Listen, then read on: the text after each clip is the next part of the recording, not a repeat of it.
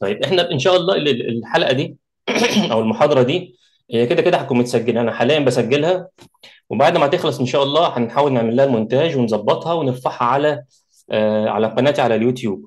بحيث ان الناس اللي حضرت أو الناس اللي ما حضرتش أو حتى اللي حضر وعاوز إن هو يعيد المعلومة مرة تانية آه هيبقى الموضوع سهل بالنسبة له. لأن أنا حاطط يعني قدر الإمكان معلومات كتيرة جدا بحيث إنها تبقى رود ماب أو خارطه طريق للناس اللي شغالة حاليا في موضوع التجارة الإلكترونية بس عندهم بعض الفجوات لسه ما سدوهاش. أو نحاول برضو إن هم إيه يعني آه، ما يقعوش في الأخطاء اللي بتخلي الناس دايما ما تكملش.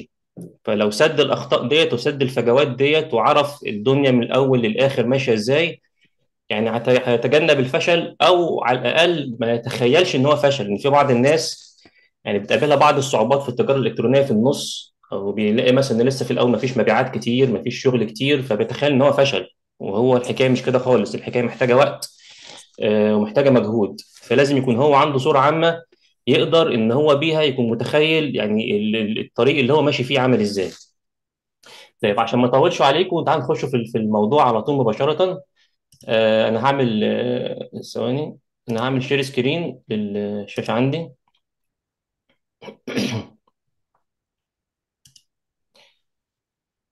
طبعا ده التعريف بيا في الأول ده الإيميل بتاعي طبعا اسمه محمد عيد وده الإيميل الموجود بتاعي آه، ده الموقع الإلكتروني آه، يعني للشركة اللي بإذن الله بنأسسها هنا في في ال- في المملكة المتحدة أو في بريطانيا اللي هي Ads Atom dot com وده الموقع الإلكتروني الشخصي الخاص بيا عليه معلومات أكتر عليه ال social media بتاعتي لو هنزل دورات جديدة وشروحات جديدة كلها إن شاء الله يعني هيبقى جامع لكل المعلومات الموجودة عني اللي هو M O E I D M اختصار محمد و E I D اختصار لعيد بس استبدلنا حرف يعني فهو كده سهل شوية.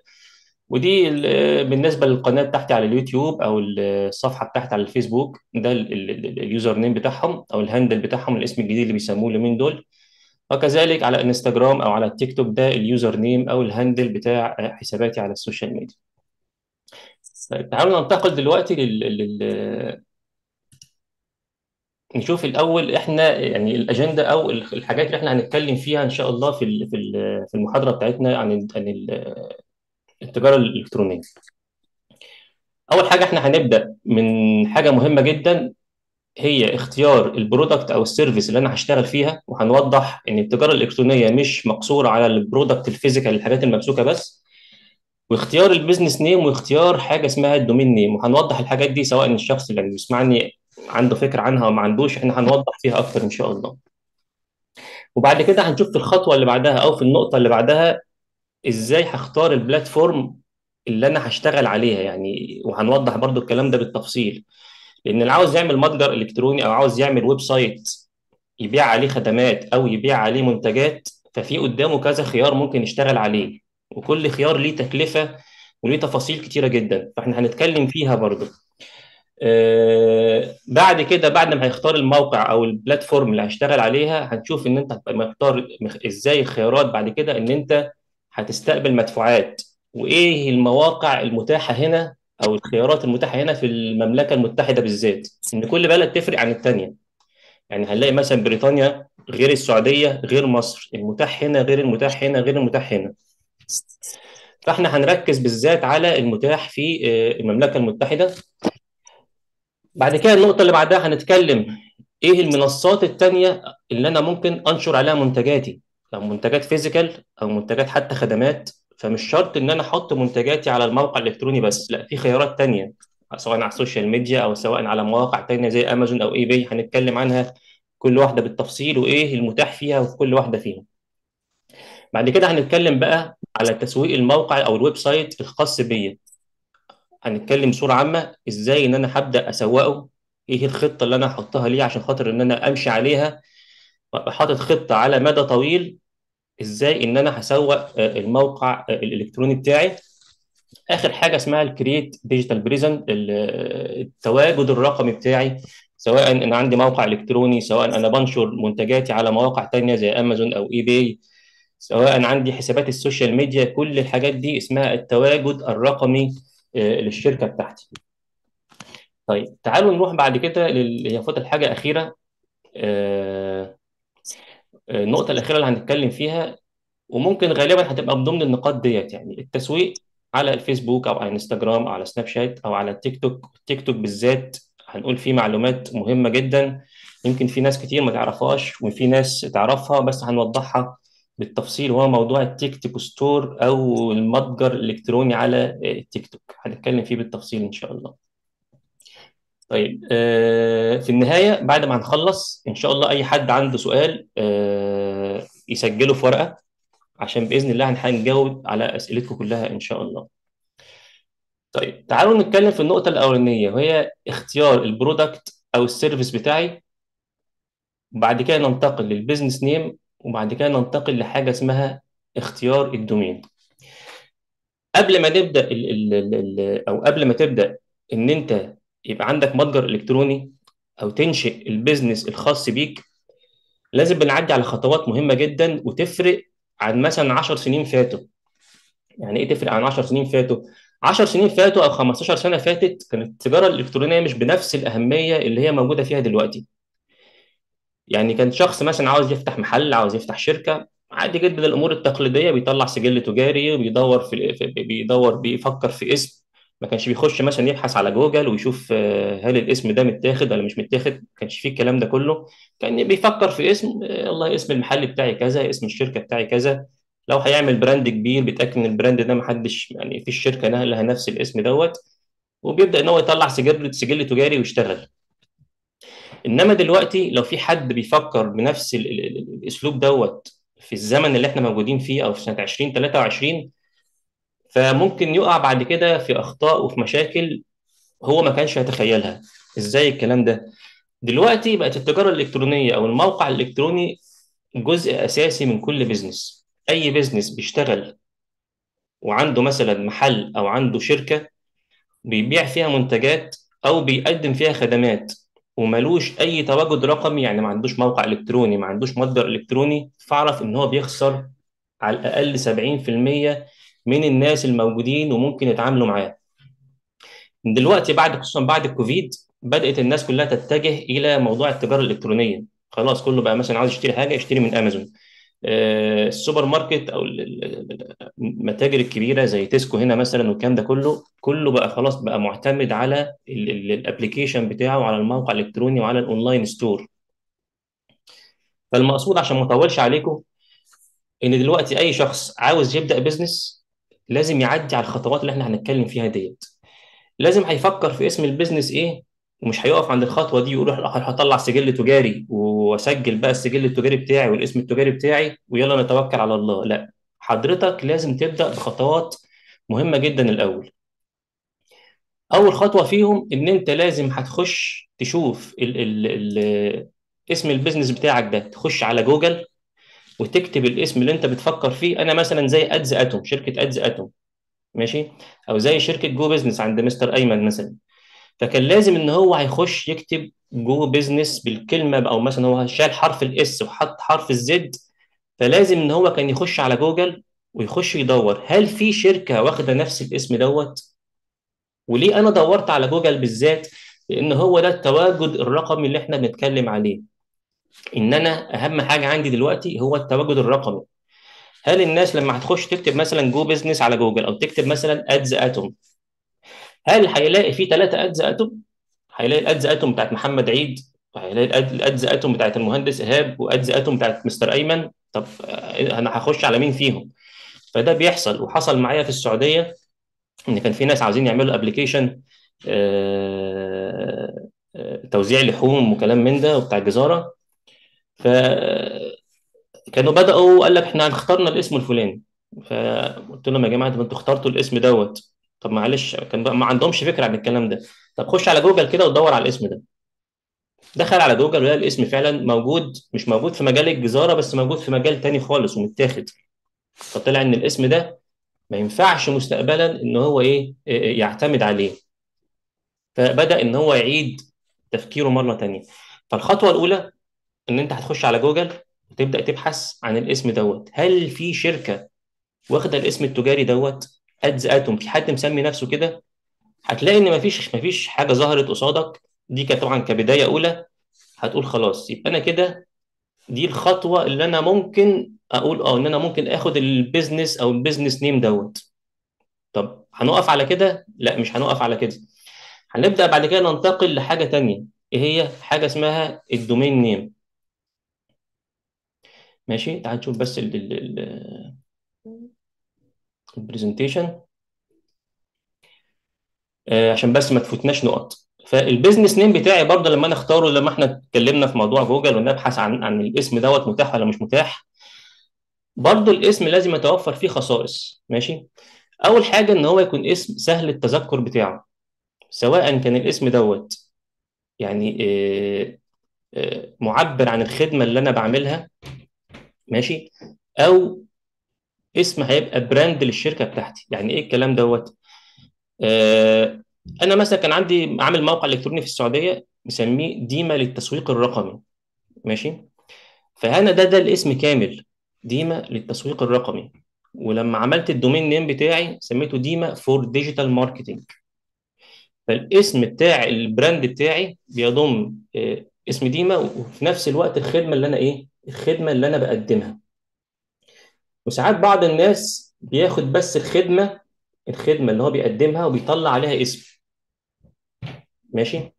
فلازم أنا أتأكد إن ال business name بتاعي يكون اسم سهل التذكر. ما أقولهوش لحد ويلاقيه اسم معقد وما يفتكروش بعد كده. طيب. make it simple خلي الاسم بسيط. يعني مثلا شركة امازون شوف اسم بسيط جدا. آه شركة مثلا eBay اسم بسيط جدا سهل إن أنت تتذكره قصير حروفه مش طويلة. فكل ما يكون الاسم سهل التذكر وكل ما يكون قصير كل ما يكون أحسن. قلنا بعد كده check availability اللي أنت بتخش وتشوف وتبحث على الإنترنت وتشوف الاسم دوت متاح ولا مش متاح. وبعد كده بنشوف بقى حاجة تانية ال domain name متاح ولا مش متاح. طيب أول حاجة إيه هو ال domain name دوت؟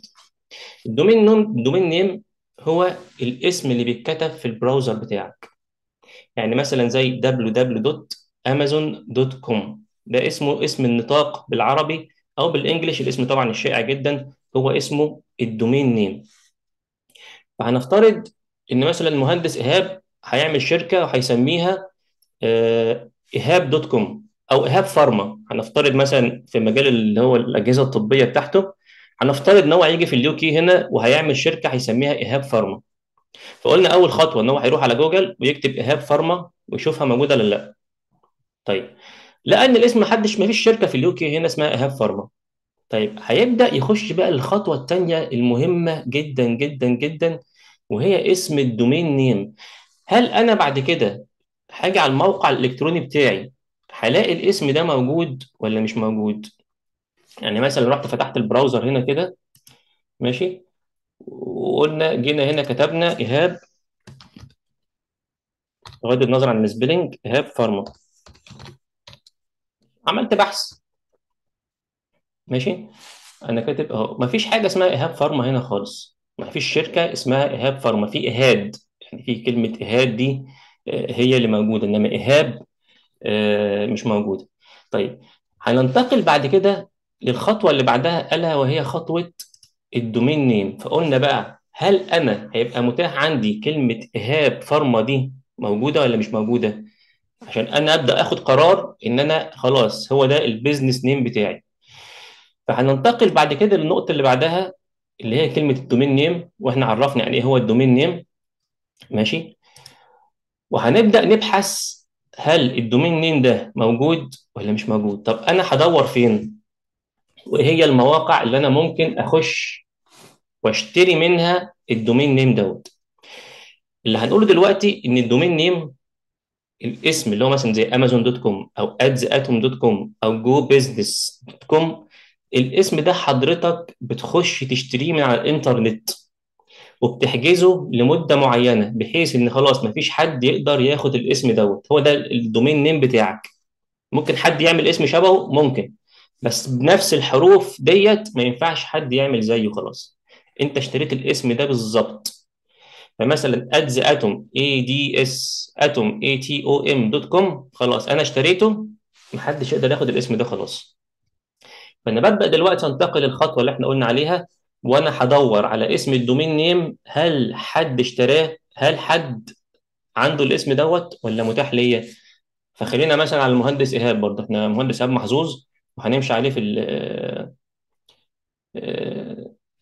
في المثال اللي إحنا ماشيين عليه على طول. طيب تعالى مثلا نروح على موقع اسمه زي موقع GoDaddy. ده أحد المواقع المشهورة جدا على مستوى العالم اللي بتخش تشتري منها ال domain name. فلو شفنا مثلا ان كتبنا GoDaddy dot com كتبتها في جوجل أو رحت على الموقع اللي ظاهر قصادكم دلوقتي هتظهر دي الصفحة الرئيسية. بمنتهى السهولة بيجي لك في الأول هنا كده بيقول لك اكتب لي اسم ال domain name اللي انت عاوزه. وبعد كده تعمل search فأنا هاجي هنا واقول مثلا إيهاب فارما dot com ماشي؟ وفي حاجات غير dot com هنتكلم عليها بعد شوية إن شاء الله. بس إحنا هنبدأ بده دلوقتي. وهشوف هضغط على كلمة ال search وهيبدأ إن هو يعمل لي search طيب. وطلع برضو محظوظ للمرة الثانية معانا بيقول لك إن إيهاب فارما dot com موجود. وده السعر بتاعه هو بس جايب لي السعر دلوقتي بالدرهم الإماراتي. طبعا عادي ممكن بعد كده بيتغير للإيه؟ للجنيه الاسترليني. فهو جايب لي السعر بيقول لك آه ده سعره آه، لأول سنتين. ماشي سعره كام؟ 20 درهم إماراتي يعني حوالي يعني أظن في حدود الاثنين ممكن في حدود الأربعة جنيه استرليني تقريبا يعني. فاللي هيحصل إن أنت هتقول لي خلاص أنا عاوز أشتري الاسم دوت أنا بس مش هنشوف الخطوات دلوقتي. هتقول أنا عاوز اشتري الاسم دوت وهتخش تسجل بياناتك الايميل وال- وال- والاسم الأول والاسم الثاني وكل الحاجات اللي هي الطبيعية ديت وتدفع بالفيزا وتشتري ال domain name. طيب زي ما أنتم شايفين دلوقتي هو هنا كاتب لي إيه؟ هشتري الاسم لمدة سنتين. وهنا بقى هنأكد ولا هننبه على نقطة مهمة جدا. دلوقتي حضرتك خلاص لقيت ال domain name دوت متاح ماشي؟ وخلاص قلت ده ال business name بتاعي اللي أنا همشي عليه اللي هو إيهاب فارما. هتبقى ده اسم الشركة بتاعتي والحمد لله ال domain name بتاعها موجود. فإيه اللي أنا بقى هعمله لما هخش أشتري ال domain name؟ لما هدخل أشتري ال domain name حضرتك لو ناوي خلاص ال business ده أكيد أنت هتكمل عليه فترة طويلة مش داخل مثلا تجرب وتقول أنا ممكن لا أكمل أو ما أكملش ماشي؟ لا. فبدل ما تشتري ال domain name لمدة سنتين اشتريه لمدة 10 سنين على الأقل. ليه الكلام دوت؟ لأن ال domain name لو اشتريته لمدة سنتين فأنت بعد سنتين محتاج إن أنت تخش تدفع التجديد. بتجدد حجز الاسم دوت. فانت تقول أنا عاوز أجدد وأشتري سنتين كمان. فبتبدأ إن أنت تخش وتدفع بالفيزا بتاعتك مرة تانية. فبيحصل كتير جدا. إن في بعض الناس تحصل معاه الحادثة ديت إن هو يبقى جاي ميعاد التجديد بتاعه وعمال جو دادي يبعت له في إيميلات أنت ميعاد التجديد بتاعك جه ميعاد التجديد بتاعك جه وفات عليه ميعاد التجديد وراح عليه ال domain. وطبعا برضو النقطة الثانية اللي عاوز أقولها إن ال domain name ده أهم حاجة في حياة شركتك وتواجدها الرقمي كله. ماشي يا جماعة؟ ركزوا في النقطة دي. ال domain name ده أهم حاجة في التواجد الرقمي لشركتك في الحياة كلها. ليه؟ لأن إحنا بعد كده لما هنتكلم في حاجة اسمها الاستضافة أو الموقع الإلكتروني الموقع الإلكتروني لو حصل له فيروس أو أو ضاع أو كل البيانات اللي فيه ضاعت ممكن تعيد بناؤه من أول وجديد. مفيش أي مشكلة. وغالبا بتبقى واخد له backup أو تاخد له نسخ احتياطية. حصل فيه مشكلة الموقع اتهكر على سبيل المثال أو في أي مشكلة حصلت بتبدأ إن أنت تستعيد البيانات بتاعتك مرة تانية. إنما ال domain name بتاعك دوت لو ضاع وجه حد تاني خده فأنت كده مثلا تخيل أنت بقالك شغال خمس سنين والناس عارفة إن شركة إيهاب فارما ده الموقع الإلكتروني بتاعهم أو ده المتجر الإلكتروني إن أنا بخش أشتري منه على طول. ماشي؟ ال domain name ده ضاع فأنت خلاص الناس خلاص مش عارفة إيهاب فارما ده موجود فين دلوقتي. إيهاب فارما dot com مش عارفين هو موجود فين. إيه اسمه الموجود الحالي؟ لو عاوز أدخل أفتح الموقع بتاعه هوصل له إزاي؟ هتخش في قصة كابوس. ماشي؟ طيب وركزوا في النقط دي كويس. النقطة الثالثه لما تيجي تشتري ال domain name دوت يفضل يفضل إن أنت تشتريه بنفسك. ما تخليش أي شركة يعني تروح لشخص حتى لو محمد عيد تقول له يا محمد أنا هعمل موقع إلكتروني أو متجر إلكتروني ويلا اعمل لي المتجر مثلا ونتكلم وال domain name هيبقى مثلا إيهاب فارما dot com. فيجي محمد يشتريه ويحطه على حسابه الشخصي أو على يعني حسابه في جو دادي يحطه من ضمن الدومينات اللي هو مشتريها. وحضرتك ما تعرفش حاجة عنه. ماشي؟ لا. فلازم لما تيجي تشتري ال domain أنت تشتريه بنفسك. أو أو إن الشركة اللي هتعمل لك الموقع الإلكتروني أو مثلا محمد عيد هيعمل لك الموقع الإلكتروني فأنا هروح أعمل إيميل على جوجل وهسجل بيه على جو دادي باسمك. ماشي؟ وهشتري لك ال domain وأقول لك اتفضل ادي بيانات الدخول على موقع جو دادي لل domain بتاعك. ليه؟ حصل مثلا محمد عيد سافر انقطعت بيه ال- الاتصالات ما حد تعرفش هو فين. فأنت ال domain name بتاعك ده اللي هو الكنز ال- الحاجة ال- يعني الخطيره جدا بالنسبة لك. اسمك هويتك التجارية موجودة عندك. تقدر تدخل عليها في أي وقت. تقدر تربطها بأي موقع إلكتروني أنت عاوزه. لما تيجي تعمل موقع إلكتروني بعد كده مع شركة حاجة اسمها الاستضافة هنتكلم عليها. بتربط الاسم بتاعك دوت إن هو يروح على ال server الفلاني الموجود في الحتة الفلانية. مفيش أي مشكلة. ماشي؟ إنما لو ضاع منك لو في شخص عمل لك ال domain name دوت وجه بعد كده اختلف معاك وأنت ما دفعتليش وما دفعتليش ال- ال- ال- ال- المبلغ إحنا متفقين عليه أو مثلا كل سنة إحنا بناخد منك مبلغ فلان مبلغ معين مقابل مثلا الصيانة مقابل كذا مقابل كذا. اختلف معاك وضيع عليك ال domain ضاع ال business بتاعك كله بالكامل. فدي حاجة خطيرة جدا. طيب تعالوا نرجع تاني. إيه المواقع اللي أنا بشتري منها في موقع اللي هو اسمه موقع جو دادي ماشي؟ ده بخش بدور عليه على الاسم. تمام؟ وفي موقع تاني اسمه آه، اللي هو اسمه نيم شيب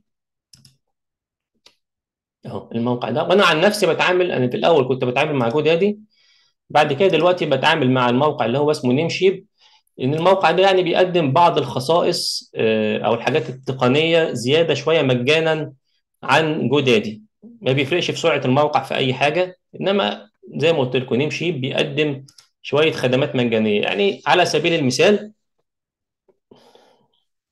في حاجة اسمها ال domain privacy. حضرتك لما بتسجل ال domain بتاعك مثلا إيهاب فارما dot com بتخش تسجل إيميلك وبتسجل التليفون بتاعك فشركات يعني اللي بتسجل الدومينات فيها حتة غلسة شوية إن هي بتخلي البيانات دي public يعني في ناس ممكن تستخدم برامج يخش يكتب مثلا إيهاب فارما dot com عاوز أعرف معلومات عنه أو الاستضافة بتاعت ال domain بتاعته موجودة فين. فبيخش لو أنت مش مخلي ال privacy ديت أو البيانات بتاعتك ديت مخفية فبيعرف بيلاقي الإيميل بيلاقي مثلا ال- ال- العنوان بتاعك أنت ساكن فين بالظبط أو العنوان اللي أنت مسجل بيه في ال domain دوت. وكذلك رقم التليفون فيبدأ إن هو ممكن يبعت لك بعض الرسائل التسويقية على الإيميل بتاعك. ماشي؟ فالخاصية دي في جو دادي بياخد عليها فلوس إن هو يبقى ال domain بتاعك أو ال privacy بتاعتك مخفية. محدش يقدر يعرف آه، يتواصل معاك. على الموقع بتاع نيم شيب دي موجودة مجانا بتشتري ال domain وبيديك ال privacy مجانا آه، فمحدش يقدر يعرف المعلومات بتاعتك. يعني دي حاجة آه، على سبيل المثال في موضوع اللي هو الفرق بين الموقعين اللي هو Namecheap والموقع بتاع آه، GoDaddy ف هننتقل بعد كده بقى لحاجة تانية. قلت لكم أنا إحنا قلنا Ehab Pharma dot com وقلت لك dot com دي فيها حاجات تانية مختلفة هنتكلم عليها. الجزء الأخير من ال domain name دوت ده بيعبر عن نوع النشاط التجاري بتاعك. الغالب الأعم إن الناس كلها بتستخدم dot com ويفضل إن أنت لما تشتري موقع إلكتروني لازم يعني يفضل إن أنت تشتري dot com. طيب هنلاقي في حاجات تانية مختلفة. يعني هتلاقي تنزل هنا تحت كده هيقول لك في Ehab Pharma dot co dot UK. اختلف بقى. يعني الجزء الأخير دوت اختلف. فدي تعبر إن ده Ehab Pharma ديت دي شركة مسجلة بسجل تجاري في ال UK فحضرتك يعني آه، يعتبر برضه حاجة كويسة جدا إن أنت لو مسجل ال business بتاعك وليه سجل تجاري إن التجارة الإلكترونية مش شرط يعني أنت يكون عندك سجل تجاري أو أنت مثلا حتى شغال من البيت مفيش فيها مشكلة. فيفضل إن أنت لو عندك شركة ومسجل آه، آه، سجل تجاري رسمي في المملكة المتحدة هنا إن أنت تشتري ال domain دوت Ehab Pharma dot co dot UK. مش كده وبس لا خش كمان اشتري معاه dot com. وهقول لكم ليه. في بعض الناس للأسف بتخش يعني لما بيبقى في brand بدأ إن هو يكبر وبدأ إن هو يتشهر ويبقى ليه ال customers بتوعه يعني والناس اللي بتشتري منه كتير وبدأ إن هو يتعرف. فبيبدأ إن هو يشتري domain مشابه لل domain بتاعك ويبدأ إن هو يخش زي ما بقول إيه يشوشر عليك على التواجد الرقمي بتاعك. يعني يجي مثلا الاستاذ إيهاب مهندس إيهاب أو الدكتور إيهاب اشترى Ehab dot com بس وعدى عليه سنة وعدى عليه سنتين وبدأ خلاص يعني بدأت مثلا ده متجر إلكتروني بيبيع مستلزمات طبية وكده واتشهر وبدأ إن هو يبقى عليه ضغط كبير. فيجي شخص منافس يبدأ يخش بعد كده ممكن يغلس كده يعمل الشغل غير شريف ويبدأ يخش يشتري Ehab Pharma dot online. عادي جدا مفيش أي مشكلة. أو يشتري Ehab Pharma dot co dot UK. ويبدأ يعمل موقع إلكتروني ويسميه برضه Ehab Pharma ممكن هو غرضه بس إن هو يخش إيه يعني يسحب منك منافسين ويسحب منك الناس على الموقع الإلكتروني التاني دوت. فمع الوقت ممكن الناس تخش تكتب Ehab Pharma يظهر له Ehab Pharma dot com و Ehab Pharma تاني. فيفضل إن أنت لما تشتري ال domain name أنت خلاص هتشتغل الموقع الإلكتروني بتاعك الرسمي Ehab Pharma dot co dot UK. فهتشتري ال domain name دوت وهتخش تشتري معاه Ehab Pharma dot com ومش هتشتغل هتركنه على جنب بس هيبقى اسمك خلاص اشتريته ومحدش هيخش يشتري ال domain دوت. تعرف إن أنت محدش هينافسك بيه. فهنا حتى بيقول لك إيه؟ بيقول لك bundle save خصم 87% لو هتشتري كمان Ehab Pharma dot co dot dot biz فأنا بشوف أنا رأيي الشخصي. إن أنت لو هتعمل business كبير وناوي إن أنت تستمر فيه سنين من ضمن التكلفة خش اشتري كل ال extension ديت. Ehab Pharma dot com و Ehab Pharma dot UK و Ehab Pharma dot co و dot online و dot biz اشتري كل ال domainات ديت بحيث إن ما يجيش حد بعد كده يخش ينافس عليك ويحط domain منافس ليك. فده آه، أنا برشحه للي عامل business جد وعامل business وحاطط عليه رخصة ورخصة تجارية. وهيستمر عليه فترة كبيرة. أما لو شخص مثلا عامل مشروع صغير ومفيش مشكلة يعني مش شايف إن هو بعدين أو بعد سنين آه، هيبقى ليه تواجد كبير جدا لا هو مثلا هيفضل متواجد جوه المملكة المتحدة هيبقى ليه شغل على صغير على ضيق.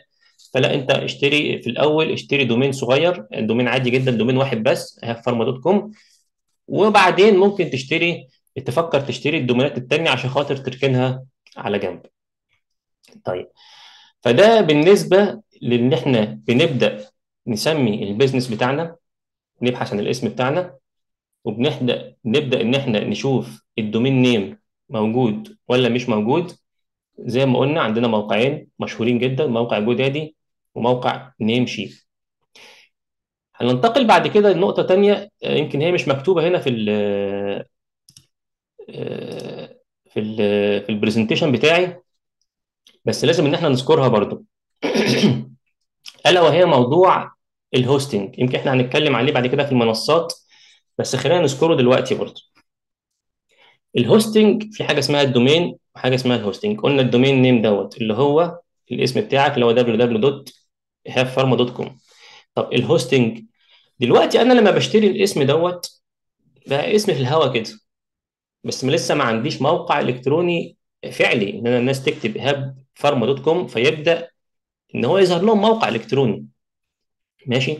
فبحتاج بغض النظر بقى عن المتجر الإلكتروني أو التجارة الإلكترونية إحنا بنتكلم بقى على ال website عموما بحتاج إن أنا بشتري حاجة اسمها hosting أو بيبقى الموقع الإلكتروني بتاعي موجود على كمبيوتر أو على server عند شركة معينة. ماشي؟ يعني بيبقى في شركات ضخمة عندها كمبيوترات وسيرفرات ضخمة جدا. ماشي؟ بتبدأ إن أنت حضرتك الكلام أو الصور وكل الحاجات اللي بتظهر على الشاشة بتاعت الموقع الإلكتروني ديت بتبقى متخزنة على السيرفرات بتاعتهم هو على الكمبيوترات بتاعتهم هم. ماشي؟ وبتدفع لهم مقابل شهري إن أنت ليك جزء أو واخد مساحة من السيرفرات بتاعتهم. فلما تبدأ الناس بتكتب إيهاب فارما dot com أو أدز آتوم dot com أو جو بزنس dot com بيبدأ إن أنت حضرتك أصلا في الإعدادات في ال domain على شركة جودادي بتقول له روح للشركة اللي هناك ديت هتلاقي الموقع الإلكتروني موجود عندهم. اللي هي بقى إيه؟ اللي هي شركة اللي مستضيفة الموقع الإلكتروني بتاعك. ودي بتبقى ليها اشتراك شهري ومصاريف شهرية تختلف عن آه، ال domain name. ال domain name أنت بتشتريه سنتين خمس سنين عشر سنوات وخلاص. خليه على جنب. انت كده اشتريت الاسم فقط لمدة معينة. بعد كده بقى بتروح لمرحلة ال hosting. أو بتشتري بقى المساحة على server أو على كمبيوتر إن أنت بيبقى الموقع الإلكتروني موجود عندهم. ماشي؟ طيب ودي بقى هتاخدنا للايه للنقطة آه، آه، اللي بعدها اللي هندخل فيها بقى شرح ال hosting كمان بالمرة اللي هي إن إحنا هنختار بقى ال platform اللي أنا هيبقى موجود عليها المتجر الإلكتروني بتاعي. وخلينا برضو نرجع لنقطة قبل ما ننساها.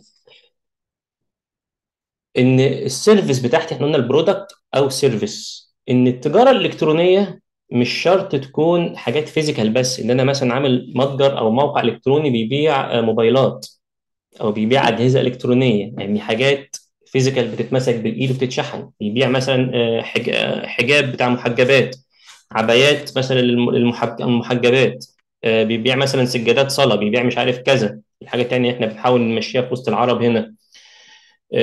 بيبيع أكل بيبيع أطعمة بيبيع مش عارف لحوم زي مثلا طارق حلال مثلا المشهور جدا. فمش شرط تكون المنتجات دي منتجات physical تتمسك بالإيد. لا. ممكن التجارة الإلكترونية يكون عندي موقع بتاع دورات English online. ماشي؟ إن أنا بقدم دورات أونلاين. دي داخل برضو نفس الحكاية في التجارة الإلكترونية.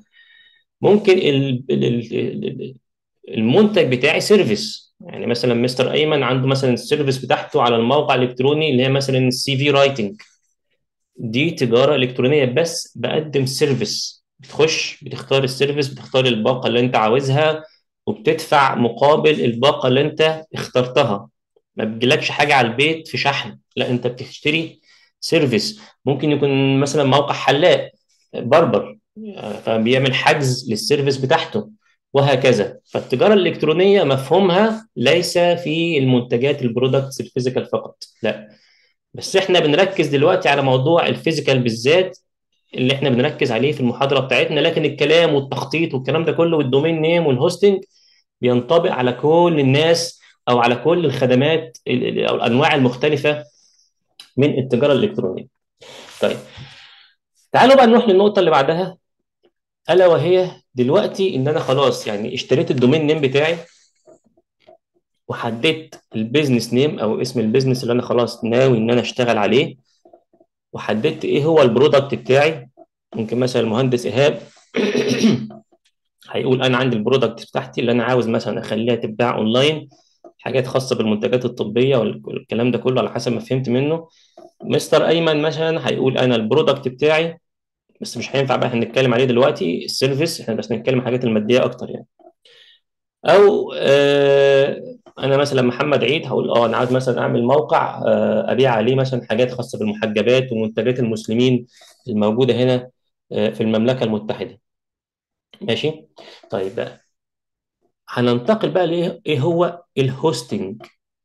دلوقتي بقى ال server أو الكمبيوتر اللي أنا هيبقى موجود عليه الموقع الإلكتروني بتاعي.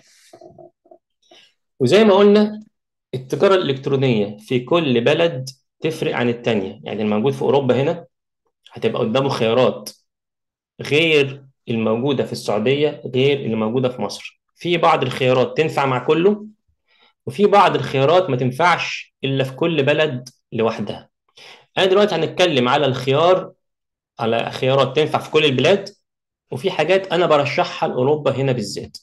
طيب زي ما أنتم شايفين على الشاشة في عندي كذا اختيار. عندي مثلا حاجة اسمها الشوبيفاي وعندي حاجة اسمها ال WooCommerce وعندي موقع اسمه موقع Wix الثلاثه دول الثلاثه الأساسيين اللي غالبا محدش بيخرج بره منهم. ماشي؟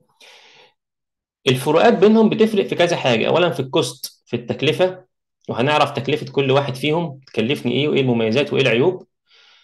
وحاجة اسمها ال hosting الاستضافة. هل هو الشركة ديت بتقدم لي استضافة ولا أنا هشتري استضافة ولا إيه بالظبط؟ هنعرف الكلام ده دلوقتي. والإتاحية والإمكانيات الموجودة في كل واحد فيهم. ودي نقطة بقى مهمة جدا جدا جدا. عشان بعدين أنت ممكن يبقى ليك متطلبات في الموقع الإلكتروني بتاعك وتلاقيها موجودة هنا أو مش موجودة هنا. طيب تعال الأول ناخد حاجة اسمها موقع اسمه موقع شوبيفاي لو ضغطت عليه كده ورحت على الموقع الإلكتروني بتاعهم اولا موقع Shopify ده أكيد في ناس كتير عندكم كل الناس تعرف الاسم دوت مشهور جدا. ماشي؟ ده موقع متخصص في تقديم الحلول للتجارة الإلكترونية فقط.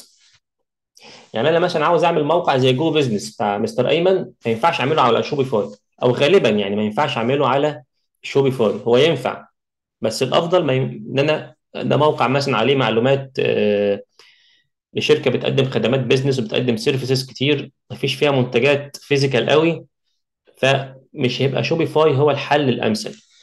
إنما لو حد بيقدم منتجات وخدمات physical حاجات تنفع إن هي تتشحن فأول خيار ممكن يفكر فيه هو شركة Shopify إن هي متخصصة في في الجزء دوت في جزء التجارة الإلكترونية للمنتجات ال physical بالذات. طيب Shopify لما حضرتك بتسجل فيه هو بيوفر لك كل حاجة. يعني إيه بيوفر لي كل حاجة؟ بيوفر لك حاجة اسمها ال hosting اللي إحنا اتكلمنا عليه. إن أنت الموقع بتاعك موجود عندي على سيرفراتي. ماشي؟ مش هقول لك أنت قدامك خيار واحد واثنين وثلاثة وإمكانيات مثلا كذا واحد اثنين ثلاثة في ال server بتاعي. لا أنا هقدم لك السرعة هقدم لك الأمان هقدم لك ال backup موقعك في أمان معايا 100% ماشي؟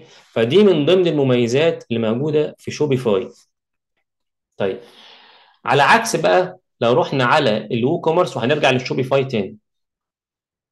ال WooCommerce اللي إحنا حطينا اسمه هنا في ال presentation ده مش موقع إلكتروني. ده حاجة زي نظام التشغيل. يعني أنا مثلا عندي كمبيوتر جبت كمبيوتر أهو اللي هو السيرفر وفاضي. فأنا رحت على شركة شركة اسمها شركة الاستضافة هوريكم مثال دلوقتي. شركة الاستضافة ديت قلت لهم أنا عايز أشتري عندكم مساحة معينة على كمبيوتر بمواصفات معينة. ماشي؟ بس وخلاص وفاضي ما فيهوش فيه أي حاجة.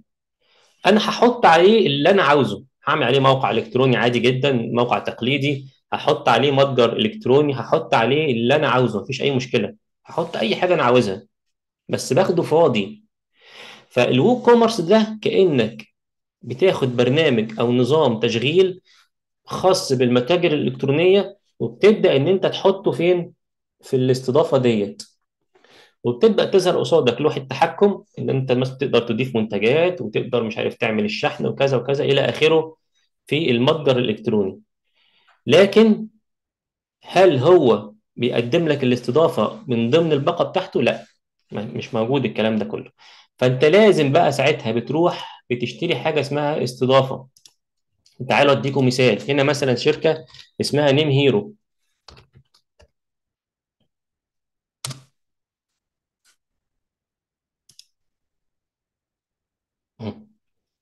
وهوضح لكم الكلام ده دلوقتي للناس. يعني لأول مرة تشوف تتكلم يعني تسمع عن الاستضافة وشركات الاستضافة.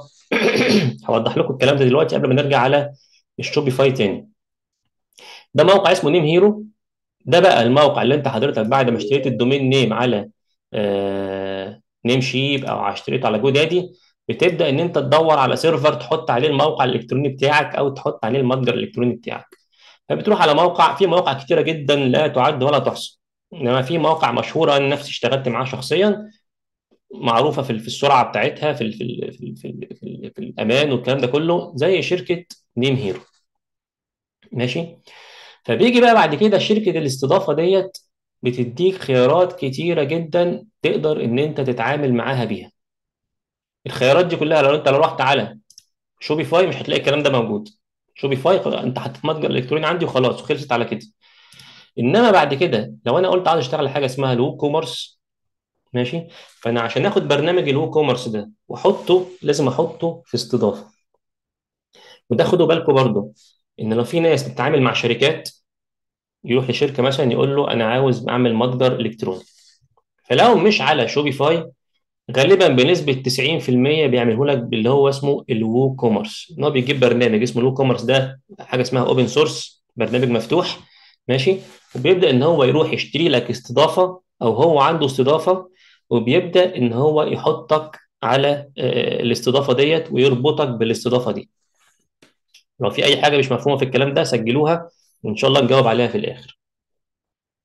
طيب أنت بقى حضرتك كراجل يعني عندك business في بعض المبادئ اللي لازم تفهمها بالنسبة لموضوع الاستضافة. إيه هي؟ تعرف الفرق بين كل حاجة والتانية أو إيه هي الخيارات الموجودة قصادك. ماشي؟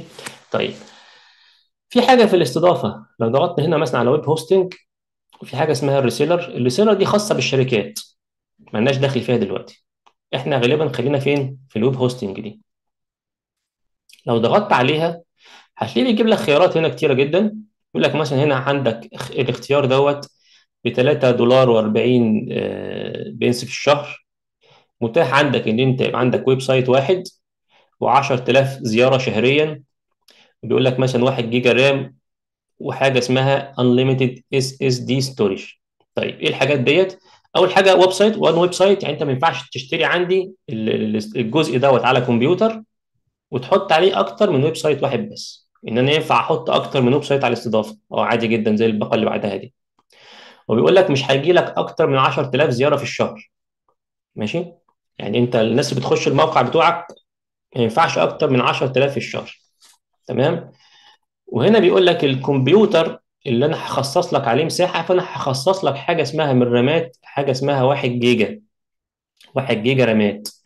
ودي بتفرق في سرعة الموقع. وبتفرق لو حضرتك داخل على الموقع بتحط عليه برامج كتير وإضافات كتير فبتفرق معاك في سرعة الموقع كتير جدا. المساحة اللي أنت هتاخدها زي ال hard disk بالظبط. أنا مثلا بشتري كمبيوتر عليه مساحة 500 جيجا عليه مساحة 1 تيرا ففي مساحة مخصصة تقدر تحط عليها البيانات بتاعتك الصور والفيديوهات وكل بيانات الموقع. فهنا بيقول لك انت عندك إيه؟ unlimited storage. مش عايز اخش بقية التفاصيل عشان ما نتوهش من بعض. المقصود ان انت لما في حد هيشتري لك الاستضافة لازم يكون عندك معلومات مهمة جدا. تسأله هل الاستضافة ديت محدودة في الزيارات الشهرية ولا عدد لا محدود؟ هل ليا مساحة محدودة ولا مساحة غير محدودة في, الاستضافة بتاعتي فلازم تعرف الإمكانيات ديت ليه؟ لأن أنت ممكن الموقع الإلكتروني بتاعك يبقى عليه عدد زيارات مثلا زي اللي هنا يعدي ال 10000 زيارة في الشهر وتلاقي الموقع يقول لك حضرتك محتاج تعلي الباقة بتاعتك ويقف معاك ويخسرك زباين فلازم تعرف المعلومات دي المهمة جدا جدا تعرفها من الشخص أو الشركة اللي هتعمل لك الموقع الإلكتروني بتاعك في حاجة بعد كده في الاستضافة حاجة اسمها ال VPS المواقع اللي هي عليها عمليات شراء وبتقدم خدمة عمليات شراء لمنتجات physical تختلف عن المواقع اللي بتقدم خدمة زي بالذات ال online courses إن أنت بتقدم كورسات اونلاين الكورسات الاونلاين دي خد بس الكلمة دي واحفظها. لازم تروح على استضافة من نوع VPS ده بيبقى موقع أو عفوا server قوته زيادة شوية إن يقدر إن هو يخدم أكبر عدد من الناس في نفس الوقت. إن كتير هيخشوا ساعتها على الموقع ويبدأوا يشغلوا فيديوهات ويبدأوا يشغلوا آه كويزات مثلا واختبارات في نفس الوقت فأنت محتاج استضافة قوية جدا. فما تخليش حد يشتغل معاك على استضافة غير ال VPS طيب. في حالة لو انت عندك الموقع على حاجة اسمها WooCommerce اللي هيصمم لك الموقع قال لك هشتغل على حاجة اسمها ال WooCommerce فانت هتبقى حكاية ال backup هيبقى يدوي حكاية تأمين الموقع هيبقى يدوي هيبقى حكاية إن انت تشتري الاستضافة وتخش تخش بعد كده تبرمجها. ما ينفعش انت غالبا كصاحب شركة ما تفهمش في الأمور التقنية دي مش هتعرف تعملها بنفسك. فلازم إن شخص هو اللي هيعمل لك الكلام ده كله وبعدين بيديك لوحة التحكم ويقول لك اتفضل أدي لوحة التحكم أهيت إزاي تضيف منتجات إزاي تستقبل الطلبات ويعلمك كل حاجة. إنما لو رجعنا بعد كده للشوبيفاي فلا الأمر يختلف. ممكن أي شخص مش عنده أي قدرات تقنية أو حاجات فنية في تصميم المواقع يقدر أي شخص ما عندوش القدرات ديت إن هو يخش ويتعامل مع الموقع عادي جدا. هل ممكن يحتاج بعد كده الشخص يستعين بيه في أمور معينة؟ آه. زي إيه مثلا؟ إن أنت عاوز تضيف صفحات عاوز تضيف حاجة اسمها البانرات والعروض الترويجية. عاوز تربط الموقع ال Shopify بتاعك بحاجه اسمها ال payment gateway هنتكلم عليها في المدفوعات. عاوز تربطه بشركات الشحن. فلما يكون في حد عنده خبرة في الكلام ده كله وتعامل معاها هيوفر لك طبعا مجهود وهيوفر لك بحث وأخطاء كتيرة جدا لكن كبداية إن أنت ممكن تخش تسجل منك لنفسك وتشتري الباقة اللي أنت عاوزها وتبدأ إن أنت كمان ممكن تضيف منتجات دي مش محتاجة أي مهارات ولا أي يعني معرفة تقنية ممكن أي شخص إن هو يعملها بنفسه. طيب فده هياخدنا بعد كده بقى إن إحنا ال Shopify طيب إيه التكلفة بتاعته؟ وإيه الفرق بين التكلفة بتاعته والفرق بينه وبين التكلفة عن حاجة اسمها ال WooCommerce اللي إحنا اتكلمنا عليه. ال Shopify يا جماعة مش مجاني ماشي هو بيديك مثلا شهر أو شهرين في الأول حسب العروض اللي هم منزلينها مجانا لكن هو مش مجاني. لو رحنا على كلمة ال pricing دي ونزلنا تحت فهتلاقي هنا كاتب لك حاطط لك كذا باقة في الباقة الأساسية ودي غالبا كل الناس بتشتغل بتشتغل عليها. وفي باقة اسمها Shopify في باقة اسمها ال Advanced. وعلى فكرة أغلب المتاجر الإلكترونية المشهورة في ال UK هنا شغالين على ال Shopify زي مثلا موقع اللي هو Currys اللي هو مخصص في الإلكترونيات وال PC والحاجات ديت والموبايلات شغال على ال Shopify وكتير من المواقع المشهورة جدا شغالة على ال Shopify طيب فبقول لك الباقة الأساسية بياخد منك 25 جنيه في الشهر ماشي؟ وبيقول لك آه آه أنا باخد منك 1 pound في الشهر لمدة 3 شهور. طبعا ده عرض جديد هم حاطينه. لأن غالبا اللي بيخش يسجل أول 3 شهور بيبدأ إن هو يعمل إعدادات الموقع والتصميم بتاعه وإضافة المنتجات. فهم الناس يعني زي ما يكون مدينك فرصة في الأول ما يكلفكش فلوس لغاية لما تقف على رجلك في الأول. فبقول لك الاشتراك الشهري هيبقى 25 جنيه استرليني في الشهر. ماشي؟ وعندك بعد كده بيقول لك بياخد نسبة 2% زائد 25 بين على كل عملية شراء. وهنا 1.7% 1.7 1.7 في المية. دي على عمليات الشراء اللي هي ال offline اللي هي عن طريق نقاط البيع. دي حاجة تانية يعني. طيب. إيه تاني بيقول لك حاجة اسمها ال basic reports بيديك اللي هي ال report اللي هي مثلا التقارير عن المبيعات بتاعتك والجمهور والناس وال users الموجودين عندك في الموقع. بيقول لك بديك حاجة اسمها ال basic اللي هي التقارير الأساسية. ما فيش فيها تفاصيل كتير قوي. ماشي؟ آه وبيقول لك حتة بقى مهمة جدا up to 1000 inventory allocations.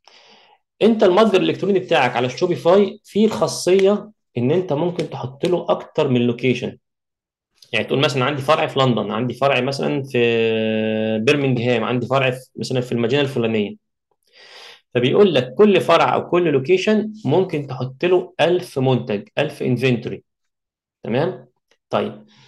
لوحة التحكم بتاعت الموقع. دلوقتي في ناس بتخش على الموقع وليهم الصلاحية الناس من الموظفين أو الناس اللي شغال معاها أو الشركة اللي أنا شغال معاها بيبدأ إن هو يدخل على الموقع ويضيف منتجات ويتحكم فيه وفي الأسعار والكلام ده كله.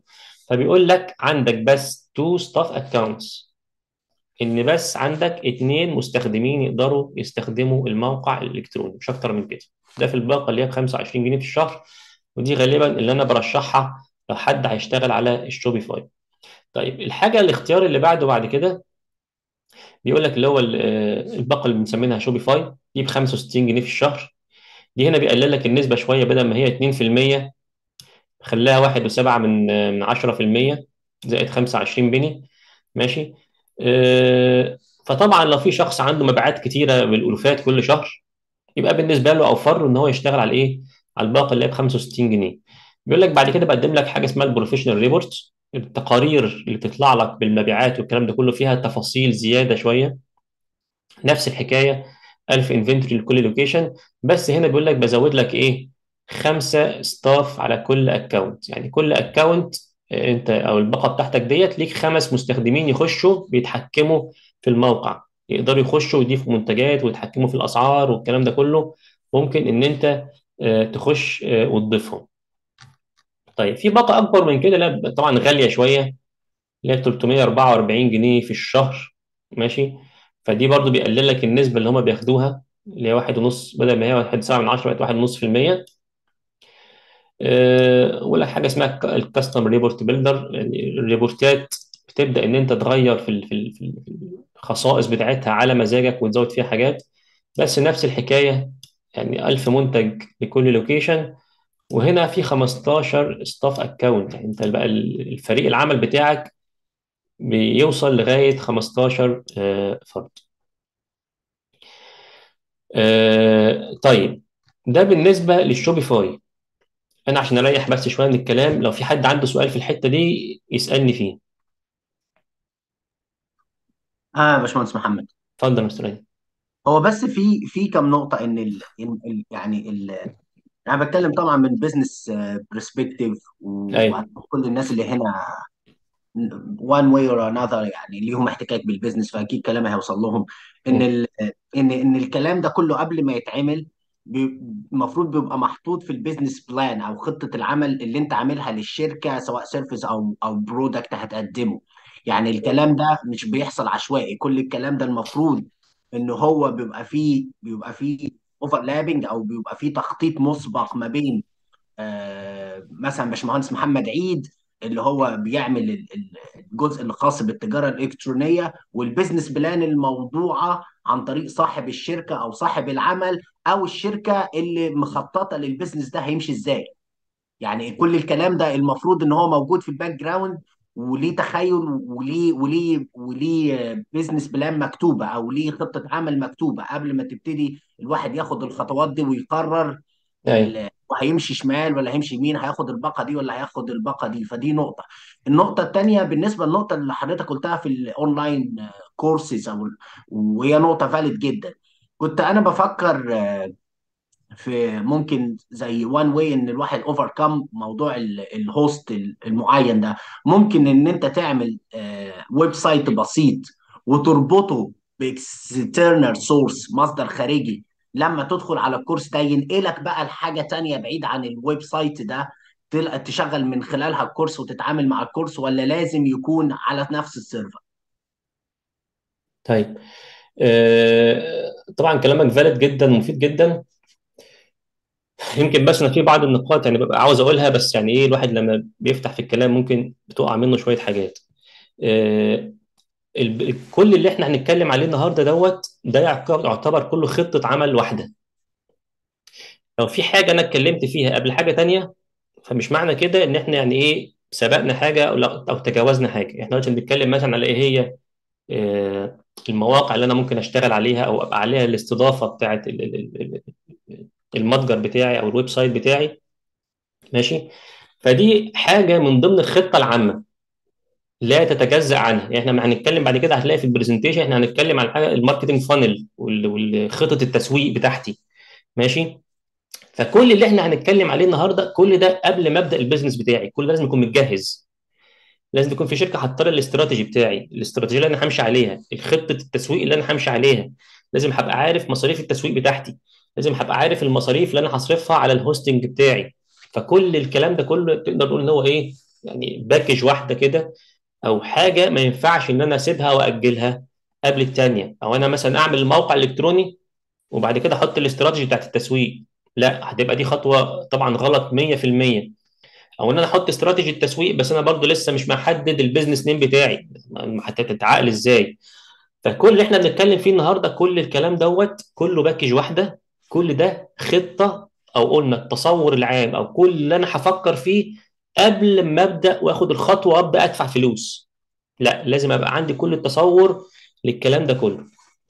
طيب آه، بالنسبة لنقطة اللي هي ال- ال- ال online course يعني أنا حسب ما أنا فهمته منك. آه يعني أنت بتتكلم إن هو الموقع يكون مربوط ب resources يعني على سبيل المثال آه، إن أنا هيبقى عندي الموقع الناس بتخش بتشغل مثلا فيديو بيتفرج على فيديو بيتعلم مثلا حاجة في ال English بيتعلم حاجة في التسويق الرقمي بغض النظر عن المحتوى. فمش شرط إن الفيديو دوت يكون موجود على ال hosting بتاع الشركة بتاعتي أو موجود على الكمبيوتر بتاعي لا ده ممكن يتربط الفيديو دوت ممكن يتربط باليوتيوب. يعني هو بيخش ويشتري ال course ما بيشوفش أي حاجة في المحتوى بتاعه بس لما يخش المحتوى الفيديوهات دي بتكون مستضافة وموجودة على موقع تاني خالص زي اليوتيوب أو موجودة على موقع حاجة اسمها Vimeo. ده اللي أنا يعني بشتغل عليه في حاجات اللي هي الدورات الأونلاين. ماشي؟ ففعلا هو ممكن يكون إيه؟ مربوط ب resources خارجية خارج الاستضافة أو خارج ال server اللي أنا شغال عليه عشان موضوع تشغيل الفيديوهات ده بالذات.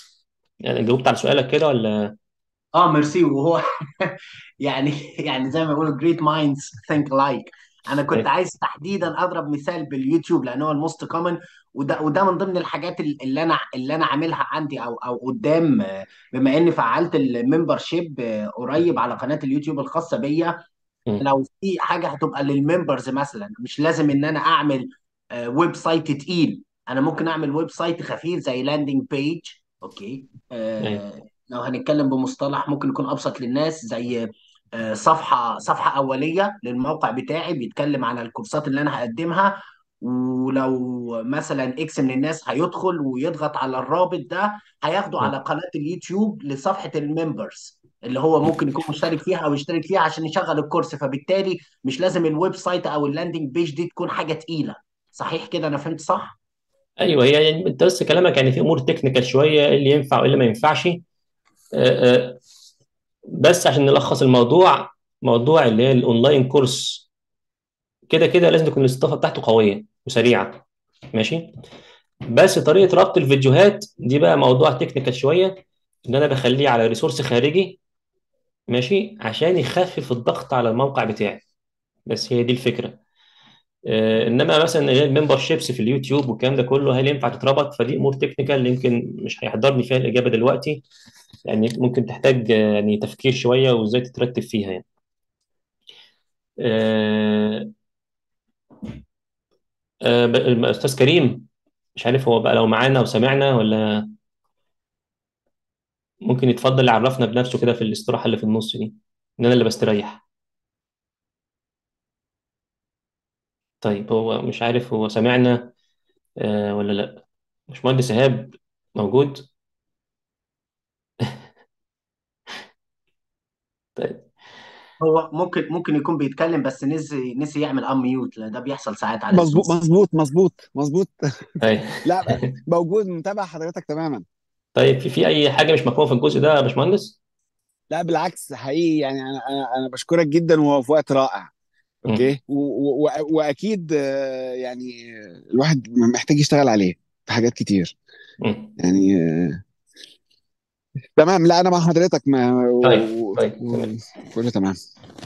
طيب برضه يعني زي ما قلنا الفكرة العامة من من المحاضرة بتاعت النهارده إن إن الواحد يبقى يعني عارف يعني إيه Shopify عارف يعني إيه WooCommerce عارف يعني إيه استضافة عارف يعني إيه domain فبحيث مش شرط هو هيشتغل بإيده بعد كده بس لو هو هيشتغل مع حد يعني يكون على وعي بالكلام ده كله. لأن إحنا بنشوف يعني بنتعرض يعني آه، بيجي لي ناس وبنسمع قصص عن ناس كتير يعني بيبدأوا يمشوا في موضوع التجارة الإلكترونية دوت ويبدأ إن هو يأسس موقع ويمشي في الموضوع وللأسف يقع بسبب إن هو اشتغل مع ناس يعني ما عندهاش ضمير أو يعني زي ما قلت لك هو اشت- اشتغل مع شركة والشركة دي اشترت ال domain وموجود عندها والإستضافة موجودة عندها ما أعرفش عنها عنها حاجة. وبعد كده يعني خلاص شكرا ضاع منه آه، كل شيء بسبب إن هو بس ما عندوش المعلومات الأساسية. يعني اللي محدش بيوفرها كتير برضه في, في, في, الوقت اللي إحنا موجودين فيه دلوقتي. طيب. آه، بالنسبة لل Shopify تعالى نرجع له تاني. إن دلوقتي بصوا عشان ما نتوهش من بعض. آه، أنا لسه برضه ما وضحتش إيه هو ال WooCommerce قوي دلوقتي. ماشي؟ آه، بس إحنا مركزين على نقطة ال cost.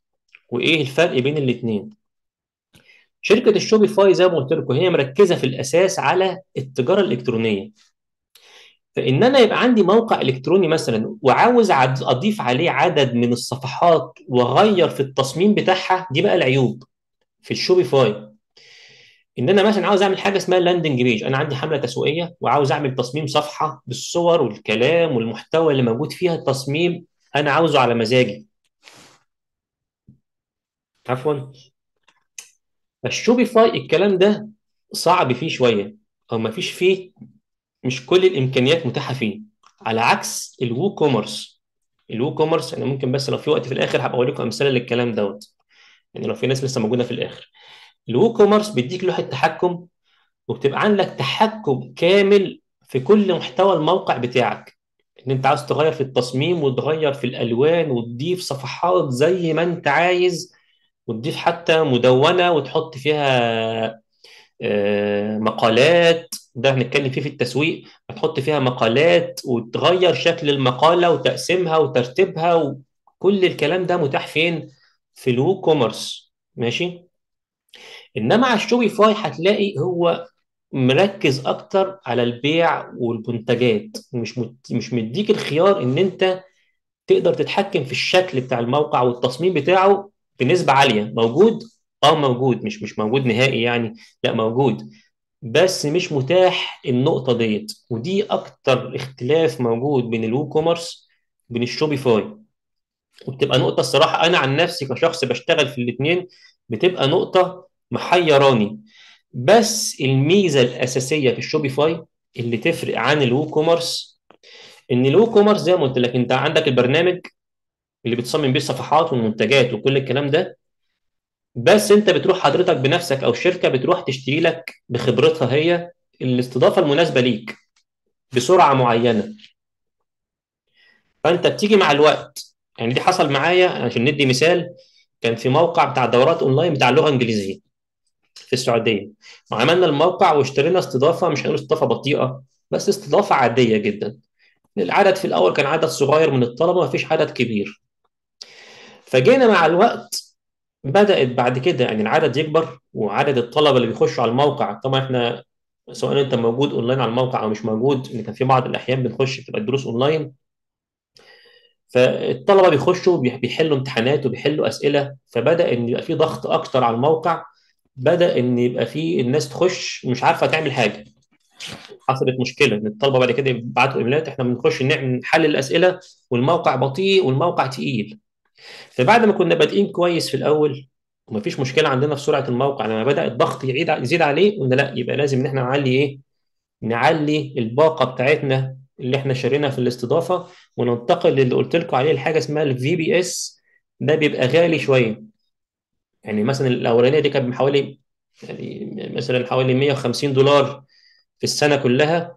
فرحنا بقى بعد كده لل VPS ده كان بحوالي 500 دولار في في السنة. يعني كان ده أقل حاجة فيه كمان. بس لما نقلنا عليه اتحلت كل المشاكل ديت خلاص. تمام؟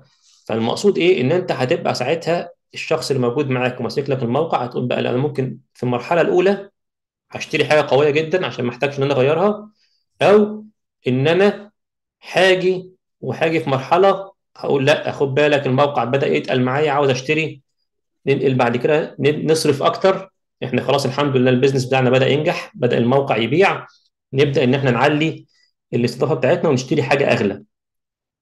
في ال Shopify بيشيل عنك هم النقطة دي. شوف أنت بتدفع فلوس كل شهر بس هرجع لك زي ما حاضر.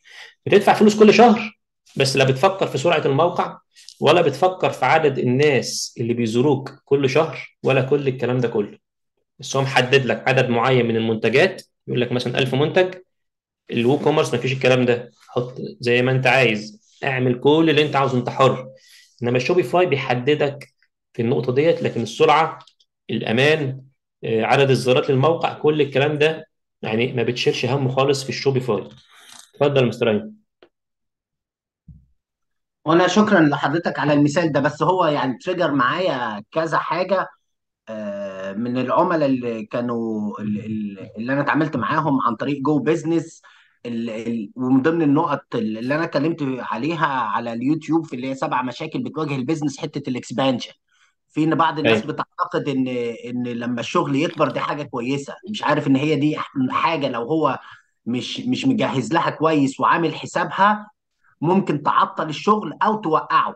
لأن أنت لما عميل يدخل مرة واثنين وثلاثه ولو انت ابتديت تكبر وابتدى بدل العميل 10 يدخلوا ويلاقوا الخدمة مش موجودة أو ال product فيه مشكلة إن هم يتواصلوا معاك أو يحصلوا على الخدمة أو ال product اللي انت بتقدمه ده هتفق... هيفقدوا الثقة في ال brand وهيفقدوا الثقة في الشركة.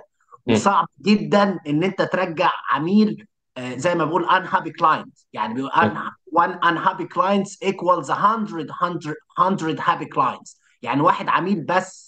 عنده مشكلة في ال في مع الشركة بتاعتك أو مع الخدمة أو مع ال product اللي أنت بتقدمه إن أنت ترجعه أسهل لك بكتير إن أنت تكسب 100 عميل جديد. العميل اللي هو بيبقى unhappy وبيسيب ال- الشركة بتاعتك أو يفقد الثقة صعب جدا إن أنت ترجعه. ودي اللي بيشتغل عليها دايما ال competitors إن هم بيبتدوا يشتغلوا على ال unhappy clients صح. فنقطة أيوة. ال expansion دي نقطة خطيرة جدا يعني يعني دي ممكن تكون مشكلة ومشكلة كبيرة لو أنت مش. مجهز لها وأرجع برضه أقول من الحاجات اللي يبقى معمول حسابها في ال business strategy مش ال business. plan يعني ال business plan أنت والله هتشتغل في الست شهور لكن ال business strategy أنت هتشتغل إزاي في الخمس سنين الجايين أو على. الأقل عندك pathway أو عندك scenarios لو. ال business مشي كده وال business مشي شمال هتعمل إيه فالنقطة اللي حضرتك بتقولها دي يعني المثال مثال مثال جميل ومثال خطير جدا إن الراجل. لما كبر أو ال business بتاعه ابتدى يشتغل اتفاجئ فدلوقتي لا ده إحنا عايزين server أكبر لكن هو لو عامل backup أو عامل plan B أو عامل سيناريو زي ما إحنا بنقول في لغة ال business كان سهل. جدا إن هو يعمل shifting على ال مم. على ال على ال server الجديد أو يكون مجهز ال plan دي فبالتالي خلاص إحنا في خلال بدل ما الموضوع ده ياخد أسبوع أيوة.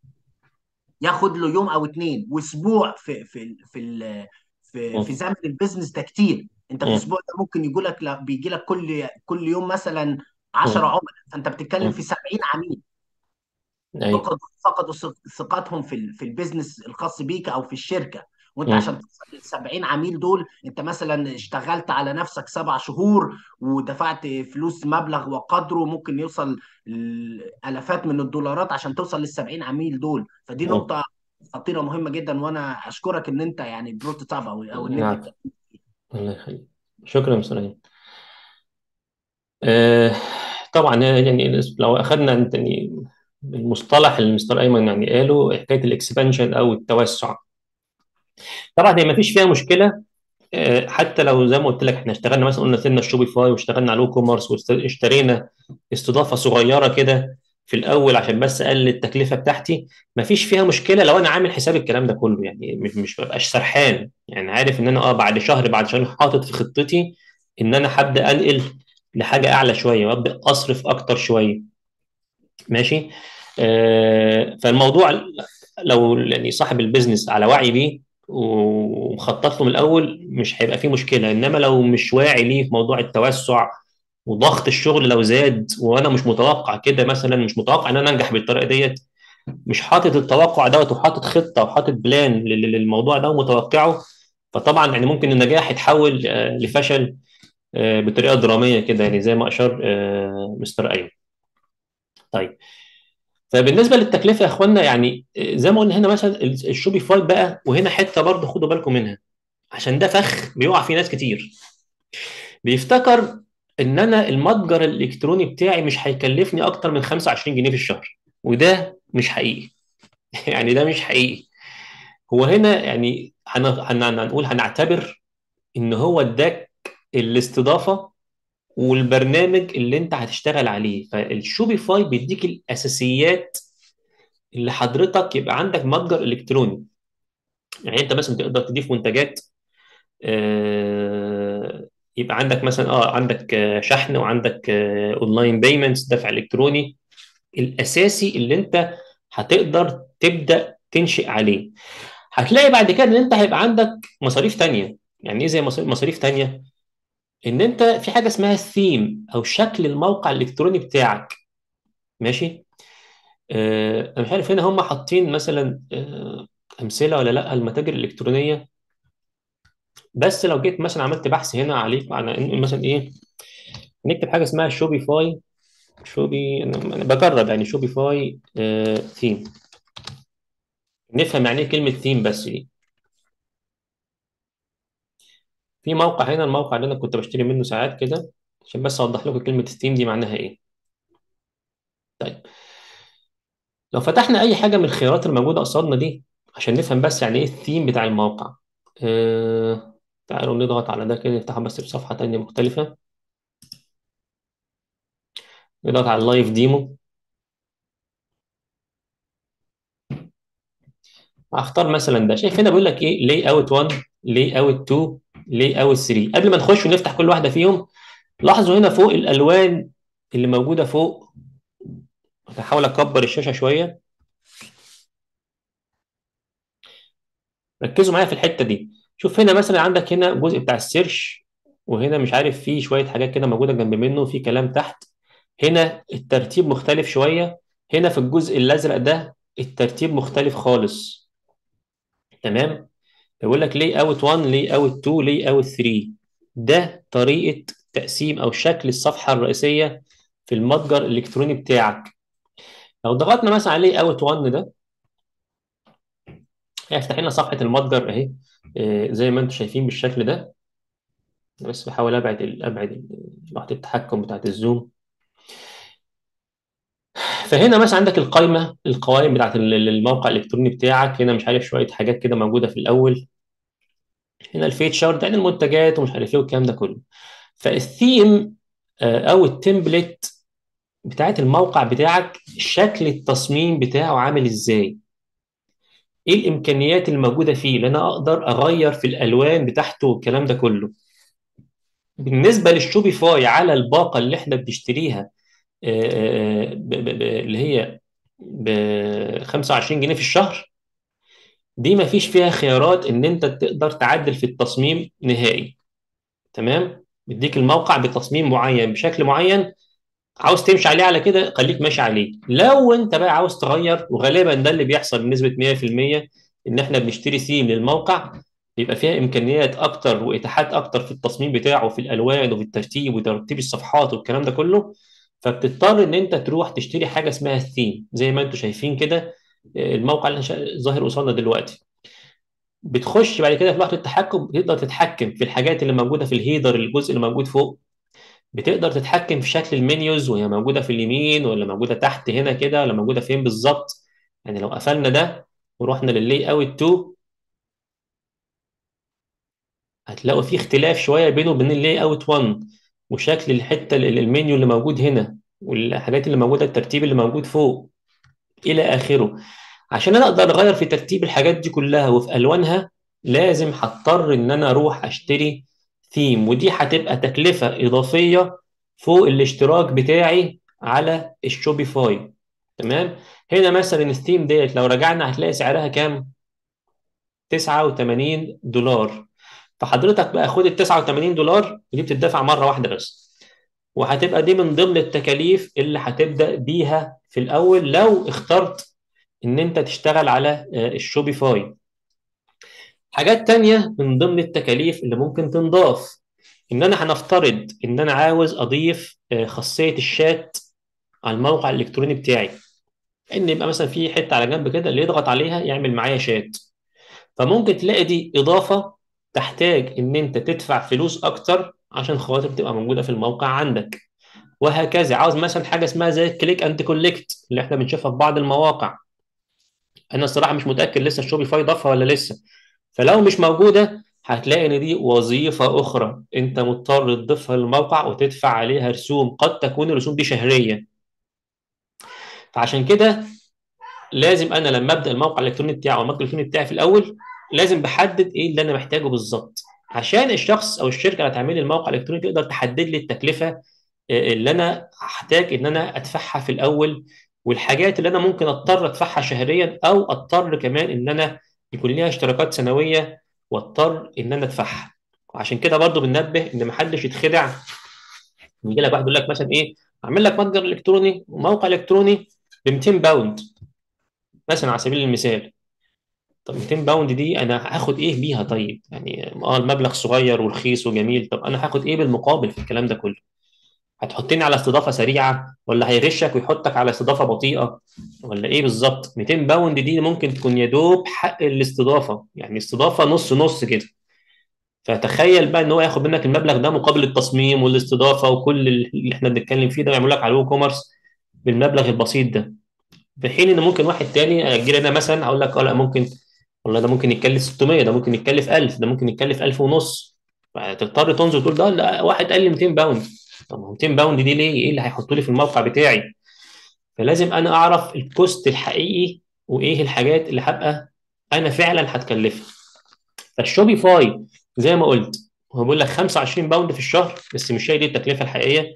أنت هتحتاج تشتري سيم متأكد إن في حاجات كتير جدا هتضطر تضيفها للموقع وتضطر إن أنت تدفع عليها فلوس.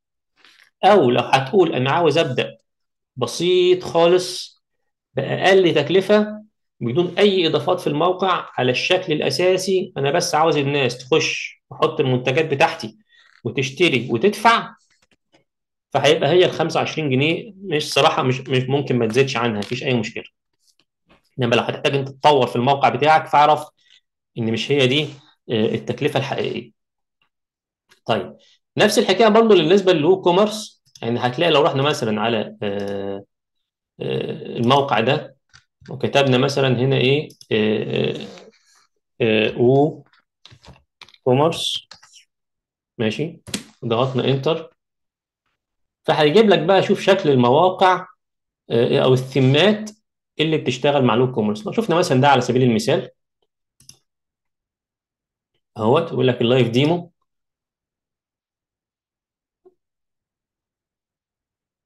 طبعا شوف دي شكل الثيم اللي انت اللي إحنا مثلا ممكن نشتريه لو هنشتغل على ال WooCommerce وهنا بقى دي برضو من ضمن التكاليف أو ال cost في جانب ال WooCommerce إن أنا هقول هنفترض إن هي برضو نفس التكلفة بتاعه ال Shopify إن أنا مثلا هشتري hosting وهيكلفني برضه في حدود ال 25 pound في الشهر. مثلا على سبيل المثال. فلغاية دلوقتي التعادل بينهم في موضوع ال hosting مفيش فيه مشكلة.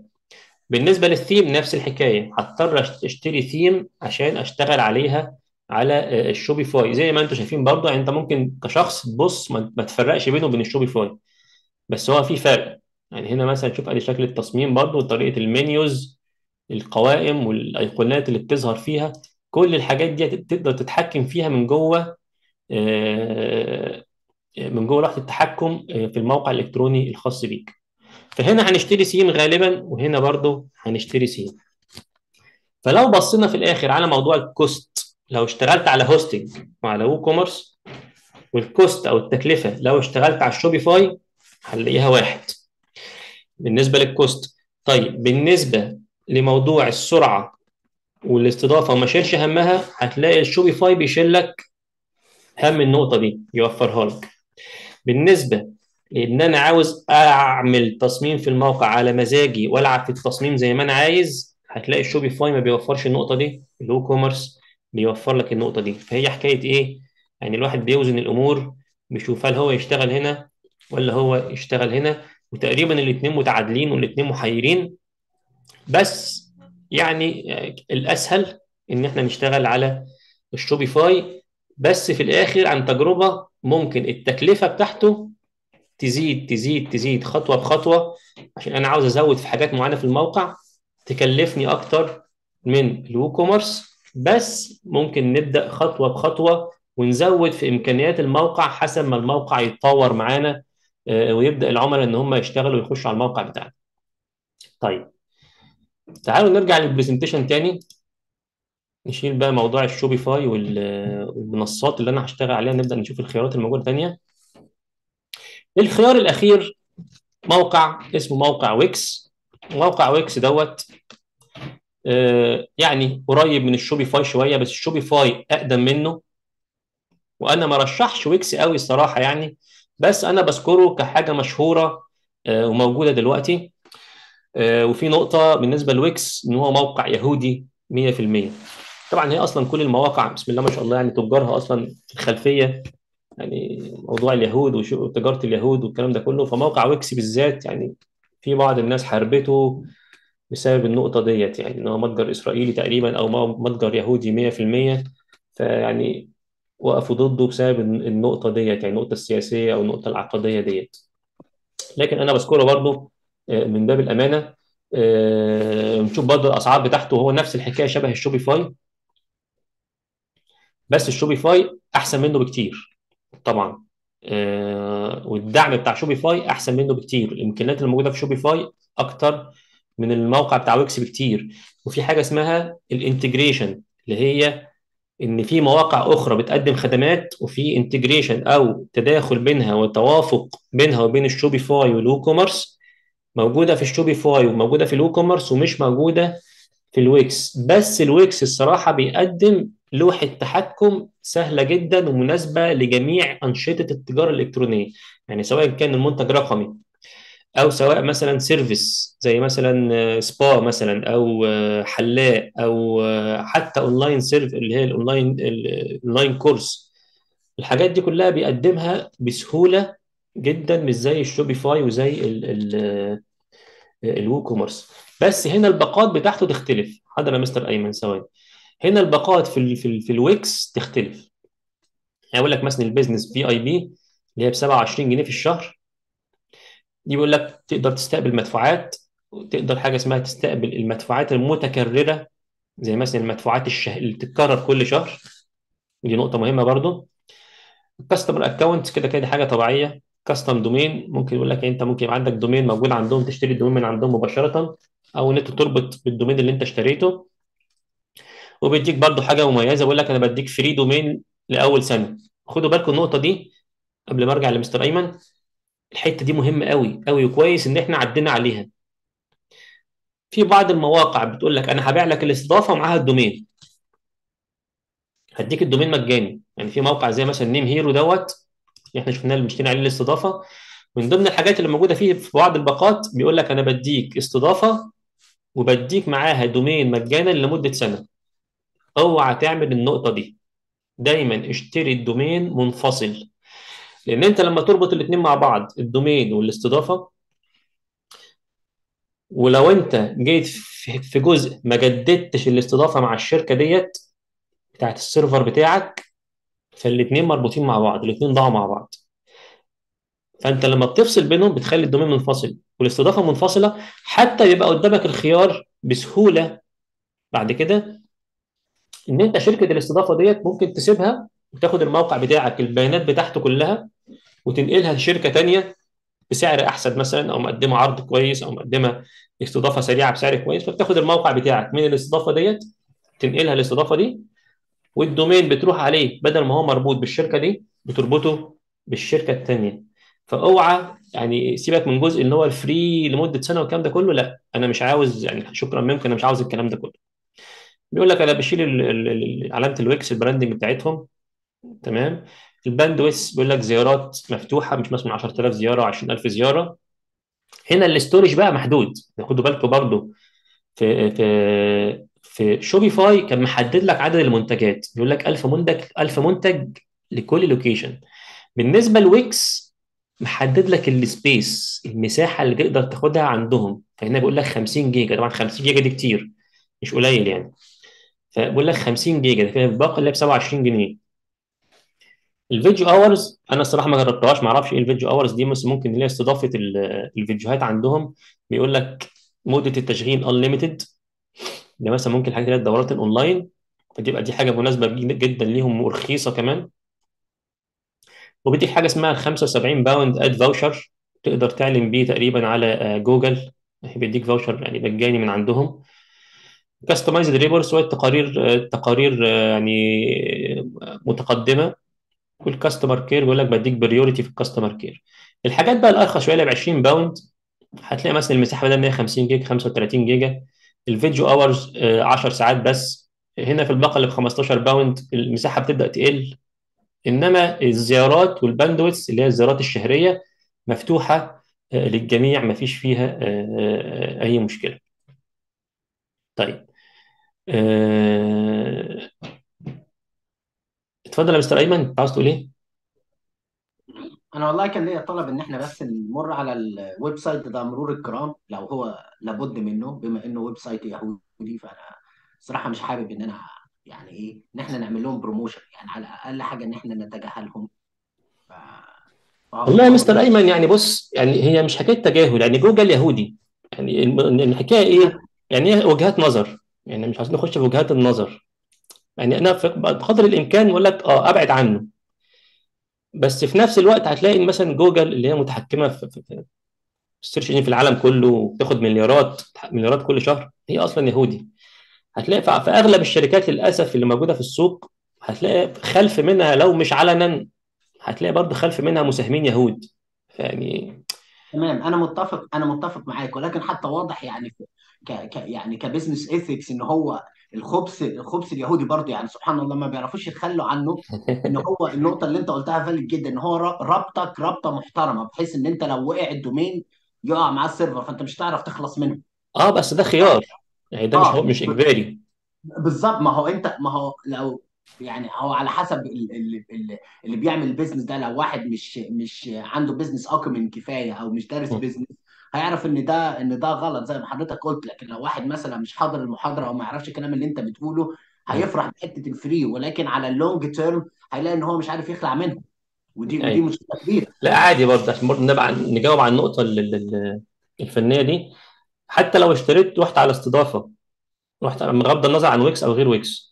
لو رحت على استضافة وقال لك أنا بديك domain مجاني لمدة سنة تقدر إن أنت تنقله بس بتحتاج أمور تقنية. يعني أنت كشخص صاحب business مش هتعرف تعملها لوحدك. هتختار يعني شخص فاهم هيخش هي مثلا هيعمل لك registration في مثلا في آه، في Namecheap أو في GoDaddy وهيعمل لك حساب هناك. بعدين هيروح على شركة الاستضافة بتاعتك أو حتى على ويكس يبعت لهم طلب يقول لهم أنا عايز أنقل ال domain بتاعي لشركه تانية. فالأمور هتبقى يعني آه، ليها حل بس يعني إيه آه، بياخد وقت. ولازم حد فاهم في الأمور التقنية دي. فإحنا من الأول بنقول حتى إحنا قلنا إيه ال domain name ده أغلى حاجة عندي أغلى حاجة في حياتي في شغلي كله. يعني صاحب الشركة ممكن هو لو يقدر ياخد يعني دورة أو course أو فيديو يفهم آه، إزاي ممكن نعمله إن شاء الله. إن هو يخش يقدر يعدل في في في إعدادات ال domain على GoDaddy أو على آه، Namecheap ويربطه بشركة استضافه يربطه بال Shopify يربطه بأي مكان ويبقى هو الوحيد المتحكم في النقطة دي دي حاجة مش وحشة دي حاجة كويسة جدا. ماشي؟ آه ويقدر إن هو مثلا إزاي يضيف أشخاص ليهم الصلاحية إن هم يخشوا يعني أنت ممكن تشتري ال domain على GoDaddy ماشي يا مستر أيمن؟ ماشي يا باشمهندس إيهاب؟ تشتري ال domain على GoDaddy وتقدر إن أنت تضيف شخص ليه صلاحية إن هو بس يقدر يخش يعدل ويربط ال domain دوت بشركات استضافة. انما هو ما يعرفش ال password بتاع ال account بتاعك فمالوش المقدرة إنه ممكن ياخد ال domain وينقله لحسابه الشخصي. يهربوا يعملوا تهريب. طبعا الكلام ده يعني ما بيحصلش إلا قليل بس إحنا برضه الإنسان لازم يكون عنده وعي منه. يعني يعرف الشر لتجنبه. مش أكتر من كده. آه، آه، وخدها قاعدة أصلا حتى عموما. كل الحسابات ال social media كل الحسابات الإعلانية اللي بتبقى موجودة عندك على ال social media انت مش مضطر تدي ال password لأي حد. كل حاجة وليها إن أنت تقدر تدي صلاحيات للشخص ده إن هو يخش ويتحكم ويعدل لك ويعدل لك في ال domain ويعدل لك في الاستضافة. كلها موضوع صلاحيات بس يعني تبقى أمور تقنية صعبة شوية مش كل الناس يعني عندها معرفة بيه. يمكن حتى على الموضوع قناتي على السناب شات على عفوا قناتي على اليوتيوب. كنت عملت حلقة في موضوع السناب شات وإزاي ندي صلاحيات لناس لا تخش تعلن لي من غير ما يعرفوا ال password بتاع الحساب بتاعي. كذلك الموضوع بالنسبة للفيسبوك لموضوع الإنستجرام لموضوع ال domain لموضوع الاستضافة كل الكلام ده كله آه، ممكن يبقى ليه صلاحيات. طيب. فهنرجع تاني لموضوعنا. آه، آه، الويكس أنا مش بعمله ترويج ولا حاجة بس أنا بشرح اللي موجود فيه إن الصراحة صراحة يعني سهل حاجات كتير سهل حاجات كتير. خصوصا خصوصا في موضوع ال service. موضوع ال service إن أنت ممكن طريق الويكس بتخش تقول أنا أنا مكان حلاق. أنا مش عارف سبا. أنا مش عارف مكان بتاع كذا. فبتختار الخدمة وهو بيديك التصميم جاهز على طول تقنيا وكل حاجة جاهز إن أنت تقدر تمشي في في في الموقع الإلكتروني بتاعك على الخدمة بتاعتك بالظبط والمناسب ليها. فده بس يعني اللي يفرق في موضوع آه، آه، الويكس عن بقية الحاجات التانية. طبعا هو بيحاولوا ينافسوا.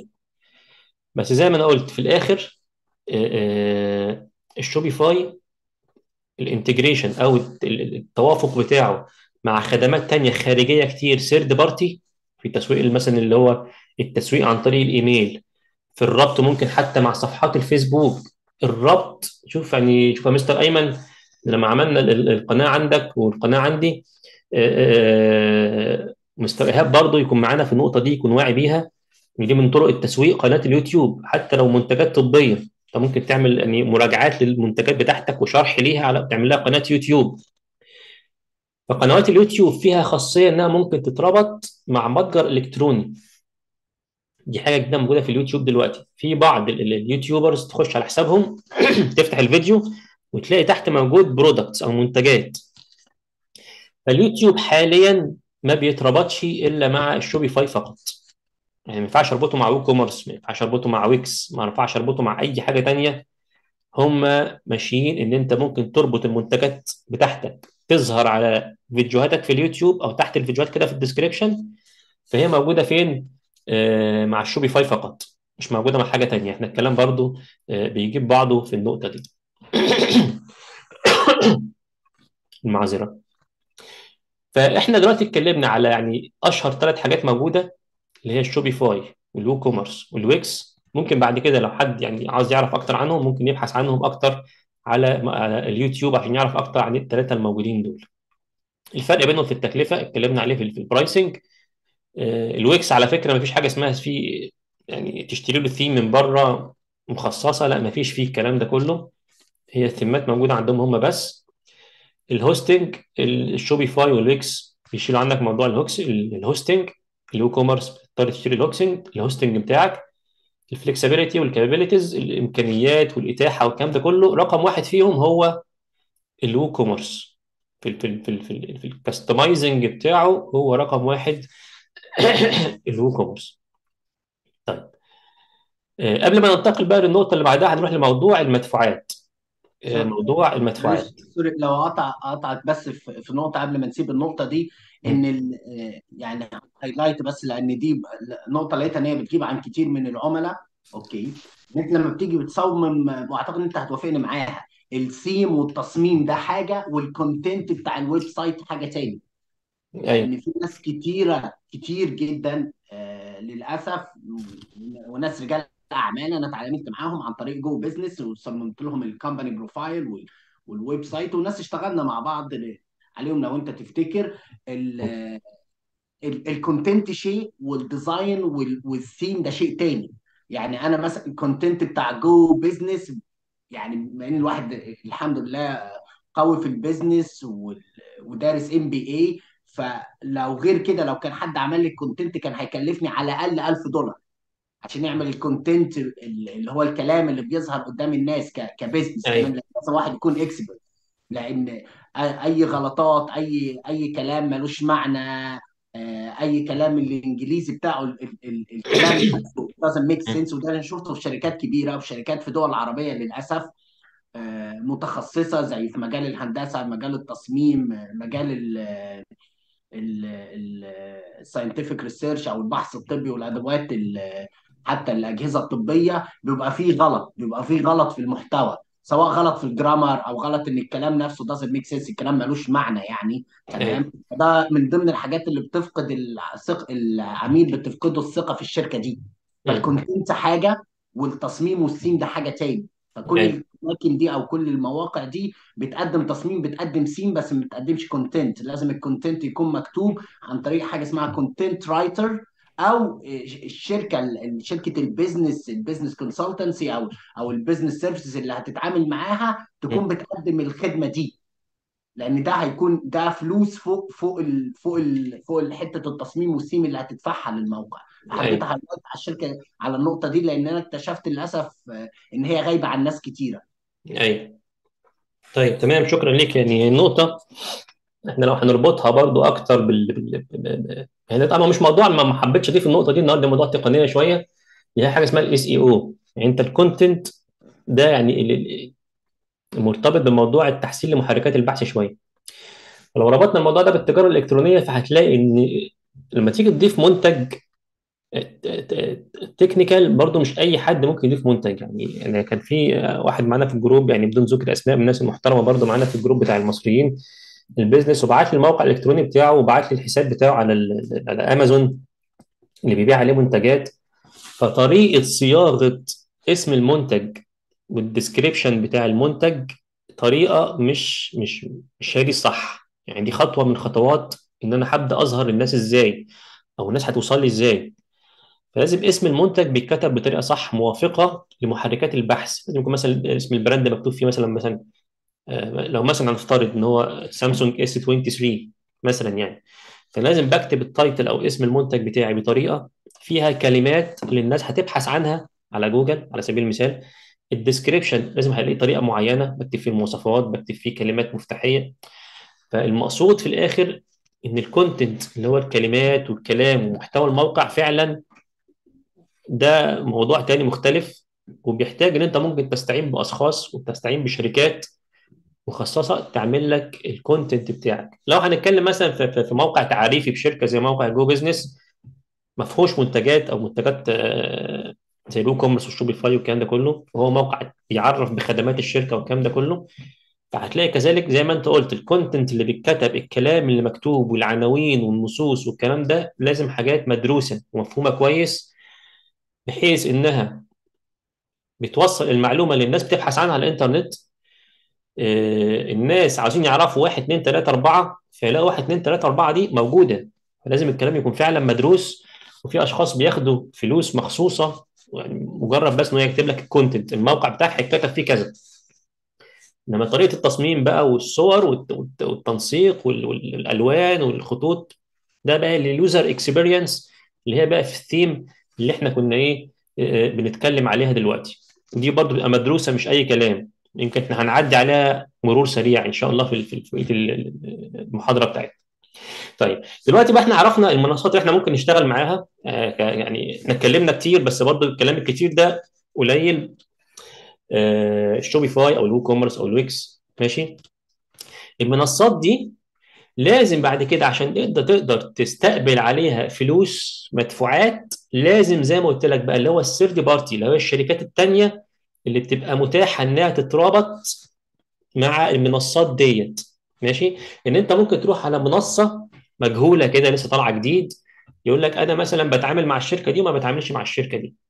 فال Shopify وال WooCommerce الميزة فيهم إن هم بيتعاملوا مع كل تقريبا كل الشركات وكل المنصات الموجودة اللي منها المنصات المخصصة لمعالجة المدفوعات. أنا عشان شخص يخش يدفع لي فلوس في الموقع بالفيزا بتاعته أو الفيزا card لازم في شركة وسيطة في النص اللي هي بيسميها ال payment gateway ال payment gateway لازم تعرف المصطلح ده وتحفظه كويس كشخص بيفكر يشتغل في ال e-commerce أو في التجارة الإلكترونية. ودي زي ما قلت برضو بتفرق دي بالذات بالذات بتفرق من بلد للتانية. يعني هنلاقي المتاح في ال UK هنا مختلف تماما عن المتاح في مصر. هتلاقي الناس في مصر ممكن يشتغل على ال Shopify مفيش مشكلة. وممكن يشتغل على ال WooCommerce ال WooCommerce ده عالمي يعني. ال Shopify عالمي برضه مفيش فيه أي مشكلة. آه، آه، الناس مثلا في السعودية ممكن يشتغلوا على ال Shopify كمنصة مفيش أي مشكلة. يشتغلوا على ال WooCommerce مفيش أي مشكلة. إنما عشان يستقبل مدفوعات لازم بقى لازم تكون شركة موجودة في البلد اللي هو موجود فيها أو في ال bank account الحساب البنكي اللي هو هيشتغل عليه بالذات في نفس البلد بتاعته ديت. يعني أنا لو شخص مقيم في السعودية. حسابي البنكي في السعودية السجل بتاعي السجل التجاري بتاعي في السعودية فلازم هشوف payment gateway بتتعامل مع السعودية. لو أنا موجود في مصر نفس الحكاية. لازم أشوف payment gateway شركة بتاعت مدفوعات بتتعامل مع البنوك اللي موجودة في مصر. لو أنا موجود في ال UK لازم أشوف payment gateway موجودة وبتتعامل مع البنوك والحسابات البنكية اللي موجودة في ال UK. تمام؟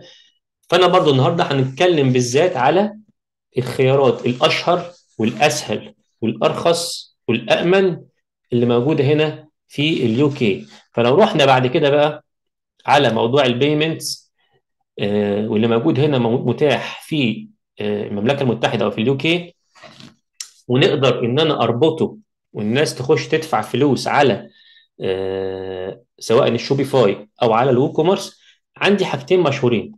عندي موقع اسمه موقع Stripe موقع ال PayPal يمكن ال PayPal ناس كتير تعرف عنه ناس كتير تسمع عنه.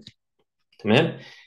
فممكن الشخص اللي أنا هيخش على الموقع الإلكتروني بتاعي عشان يدفع لي فلوس بالفيزا card أو ال credit card أو الماستر كارد بغض النظر يعني إيه هو التسميه عشان يدفع لي بال card بتاعه لازم هحتاج بوابة دفع إلكترونية زي شركة Stripe في شركات تانية آه بس أنا مش ذاكرها هنا لأسباب معينة.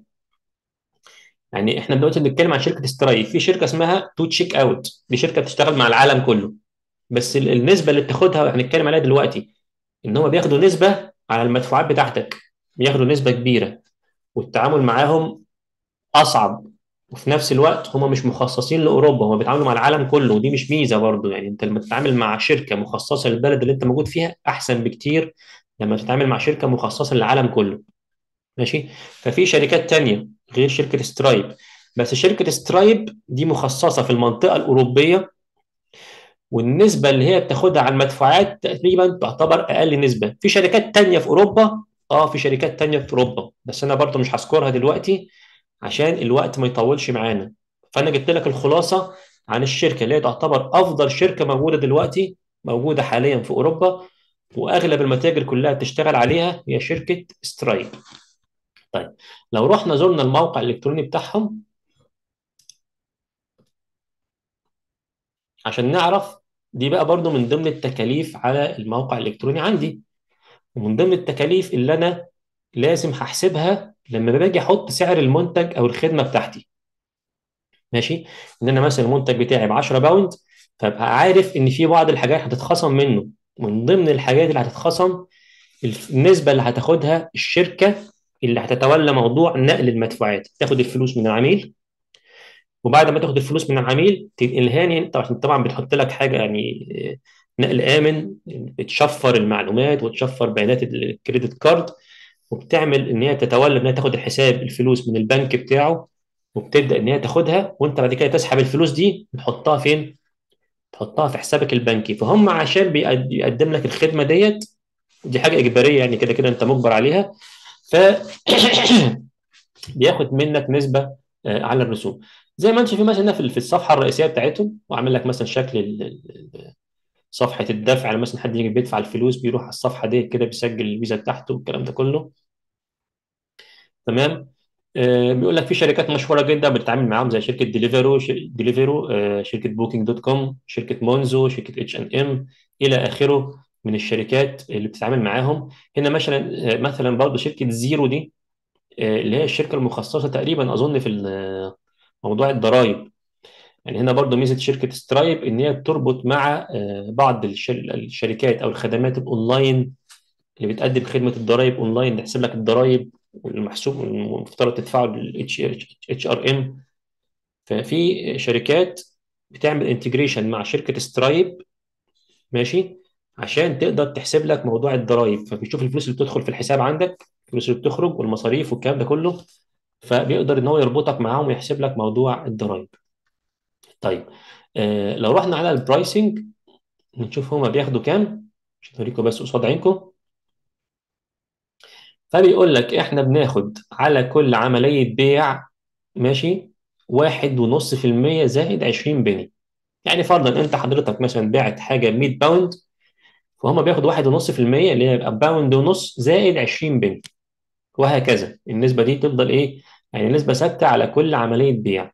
ده بالنسبة للمدفوعات داخل ال UK فقط. بالنسبة للمدفوعات لو انت مثلا عامل متجر إلكتروني وبتستقبل مدفوعات من خارج ال UK من أوروبا أو من الدول العربية أو من أي مكان في العالم ممكن يدفع لك من, عادي جدا. فهنا النسبة بتزيد بتوصل ل 2.5% زائد آه 20 penny ماشي؟ آه شركة سترايب مش هبدأ أخش وأتعمق فيها قوي زي ما قلت لك يعني دي دي أشهر شركة ودي النسبة اللي هم بياخدوها على كل عملية بيع. آه بس لما بتسجل عندهم من ضمن المميزات أنت بتخش عندك لوحة تحكم طبعا بتشوف المدفوعات بتاعتك كلها. آه ممكن عن طريق لوحة التحكم آه المخصصة ليك كمستخدم في موقع سترايب ممكن إنك تنشئ فواتير وتبعتها للعملاء سواء حتى يعني أنت من الموقع الإلكتروني بتاعك أو من خارج الموقع الإلكتروني. يعني مستر أيمن أنا لما عملت له الحساب على موقع سترايب فعنده الإمكانية إن هو مثلا لو عنده مثلا عميل بيتعامل معاه واتفق معاه مثلا على شغل أو كذا أو كذا واتفقوا على مبلغ فيقدر إن هو عن طريق لوحة التحكم في سترايب يخش ويعمل إنشاء فاتورة ويبعتها له والعميل يدفع عادي جدا عن طريق ال Visa card بتاعته وتوصله الفلوس على حسابه في سترايب وممكن أنت من برضه عن طريق لوحه التحكم بتضيف حاجة اسمها ال products لو عندك منتجات سواء خدمات أو منتجات حقيقية بتقدر برضه تضيف تضيفها وتحدد لها سعر وبتبعت رابط دفع لأي شخص عن طريق الإيميل أو تبعته له في رابط تبعته على الواتساب. فبيديك إمكانيات كتيرة جدا سواء أنت حتى عندك موقع إلكتروني ومتجر إلكتروني أو ما عندكش عادي جدا بتسجل عليه. وممكن تبعت فواتير للناس يدفعوا لك على موقع سترايب وبتبقى برضو حاجة آه، موثوق فيها. طبعا في الأمان مفيش فيها مشكلة. آه، الحاجة الثانية إن برضو دي سؤال إن يجي شخص يقول لك أنا عاوز أدفع لك فلوس فقدامك حاجة من الاثنين يحول لك على حسابك البنكي أو إن أنت الحاجة ال professional الاكتر إن أنت تبعت له رابط يقدر يدفع عليه بسهولة ويدفع عليه بسرعة بدل ما يخش ويضيفك ويضيف اسمك ويضيف رقم الحساب البنكي بتاعك ومش عارف إيه والخطوات دي كلها لا بيخش يدفع بالفيزا بتاعته مباشرة على موقع سترايب آه على طول. الخيار الثاني اللي انت ممكن تضيفه في الموقع وممكن تضيف برضو الاثنين سوا. يعني يبقى الموقع الإلكتروني بتاعك متاح عليه الدفع بال Visa card عن طريق موقع سترايب تمام؟ أو طبعا الشخص اللي بيخش يشتري ما بيشوفش سترايب دي قصاد منه هو بيشوف بس الإيه؟ الصورة اللي إحنا جبناها في الأول إن هو بيخش يسجل البيانات بتاعته. ماشي؟ أو ممكن الشخص يخش يدفع عن طريق ال account بتاعه على الباي بال ودي الحاجة الثانية أو الخيار الثاني اللي أنا برشحه برضو إن أنت ممكن تشتغل عليه هو موقع الباي بال طب الباي بال يعني إيه التكلفة بتاعته إيه؟ آه أنا مش فاكر جبتها منين الصراحة بس تعالوا نشوف كده آه آه أظن اللي هي ال fees ديت. أيوه. الباي بال بتبقى النسبة بتاعته أعلى شوية. ماشي؟ هو هنا حاطط لك 2.75% بس هي غالبا بتبقى النسبة دي اللي هي 3.4% زائد ال 20 penny. فأي شخص بيخش لو دخل الموقع الإلكتروني بتاعك ودفع عن طريق الباي بال هيتخصم منك النسبة ديت. هتروح للباي بال وبقية المبلغ هتقدر بعد كده إن أنت إيه يعني تحوله على حسابك البنكي. فموضوع بوابة الدفع دي من الحاجات اللي لازم تتحط في الحسبان وتتحط في التكلفة وتتعمل حسابها في في تكلفة الخدمة أو المنتج اللي أنت بتبيعه هيتخصم منه كام بالظبط. طيب بعد موضوع ال payment أو الشركة اللي أنت هتتولى موضوع الدفع هيبقى عندنا حاجة تانية موضوع ال shipping أو ال packaging ماشي؟ فطبعا برضو أنا لما بعمل متجر إلكتروني لازم ببقى حاطط برضو في حساب السعر بتاع المنتج بتاعي حاطط في الخطة بتاعتي إزاي أنا هقدر أشحن المنتجات بتاعتي دي للناس. وهتكلفني كام؟ يعني مثلا لما بشحن منتج صغير هيبقى تكلفة الشحن بتاعه غير المنتج الكبير. فلازم حضرتك تتواصل مع شركات الشحن وتشوف إيه هي الأسعار اللي هيقدموها لك عشان تقدر تشحن المنتج بتاعك ولا المنتج بتاعي المواصفات الأبعاد بتاعته. الطول والعرض والارتفاع كذا والوزن بتاعه كذا وأشوف هيكلفني كام وأبدأ إن أنا يبقى عندي قائمة أسعار بالكلام ده كله عشان على أساسها أقدر إن أنا أحدد سعر المنتج بتاعي. فطبعا يعني أشهر شركتين موجودين هنا أو في شركات تانية كتير مشهورة جدا غيرهم. بس الصراحة اللي كلنا شفناهم وتعاملنا معاهم والتعامل بتاعهم كويس جدا شركة ال Royal Mail.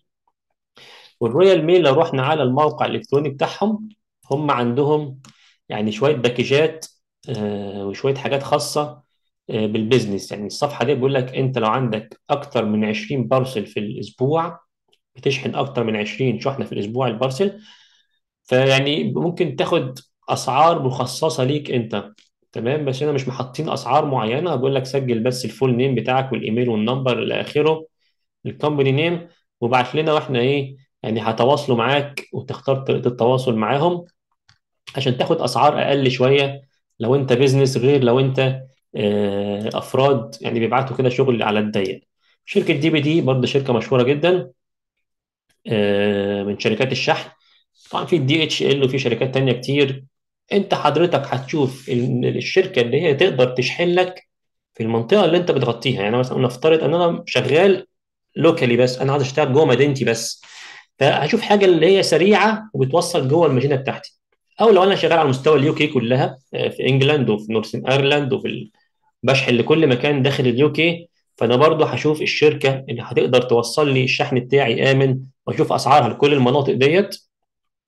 أو لو أنا بقى عاوز أشحن لدول تانية برضه نفس الحكاية لازم أشوف الخيارات والشركات اللي هتقدر تتعامل معايا وتقدر تشحن لي آه إلى دول أخرى. بعد موضوع الشحن هنشوف بعد كده بقى آه، platforms تانية أقدر أبيع عليها غير الموقع الإلكتروني بتاعي. ودي هتبقى من ضمن الخطة المتكاملة اللي أنا لازم هبقى عندي تصور كامل ليها عن طريقة تسويق المنتج بتاعي أو الخدمة بتاعتي. إن أنا مش هبقى محدود بالموقع الإلكتروني بتاعي بس لا أنا هيبقى عندي منصات تانية ممكن إن أنا أقدر أبيع عليها وتساعدني إن أنا أنتشر بسرعة وابيع آه، آه، آه، المنتج بتاعي. قبل ما ننتقل ليها إن شاء الله زي أمازون واي بي والكلام ده كله هناخد بس راحة كده خمس دقايق آه، ونرجع تاني إن شاء الله.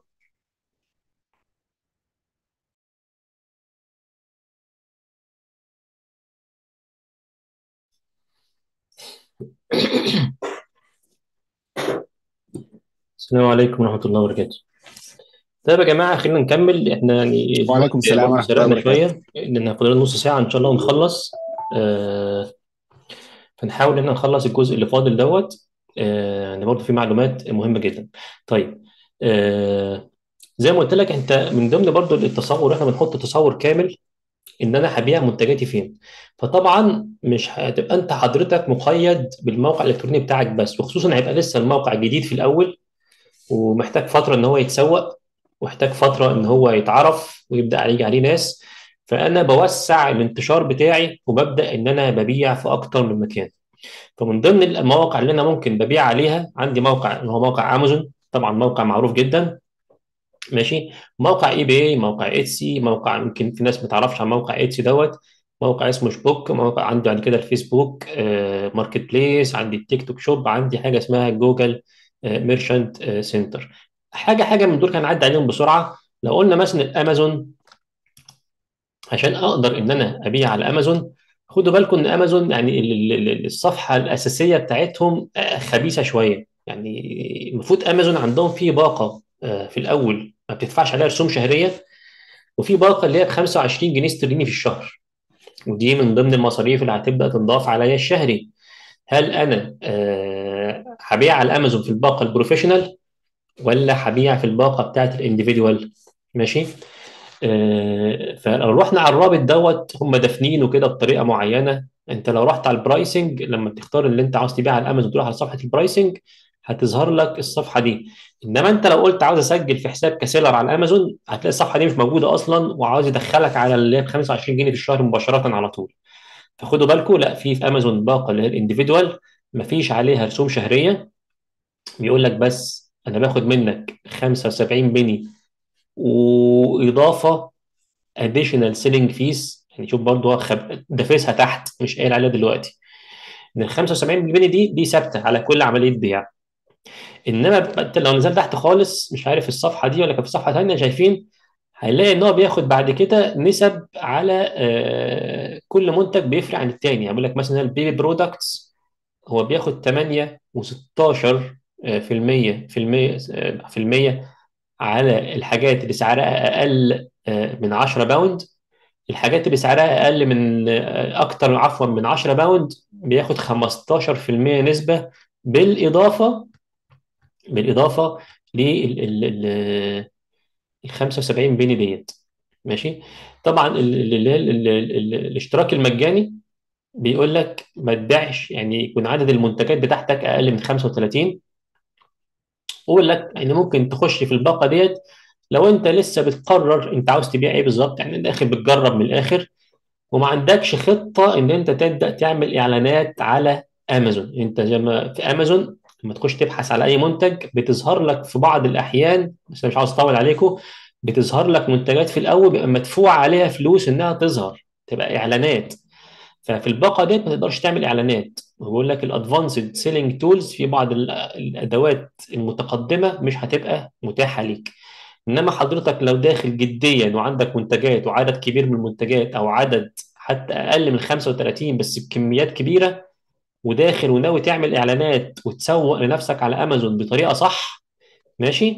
فلا هنا بيقول لك هتدفع اللي هي ال 25 جنيه استرليني في الشهر. ده على سبيل المثال بسرعة بالنسبة لأمازون. بالنسبة ل eBay لو رحنا على الموقع بتاعهم هتلاقي المصاريف بتاعته أو ال fees بتفرق شوية عن آه الأمازون. ال eBay بيقول لك أنت حضرتك ليك 1000 listing ببلاش تحطهم على الموقع عندي. ماشي؟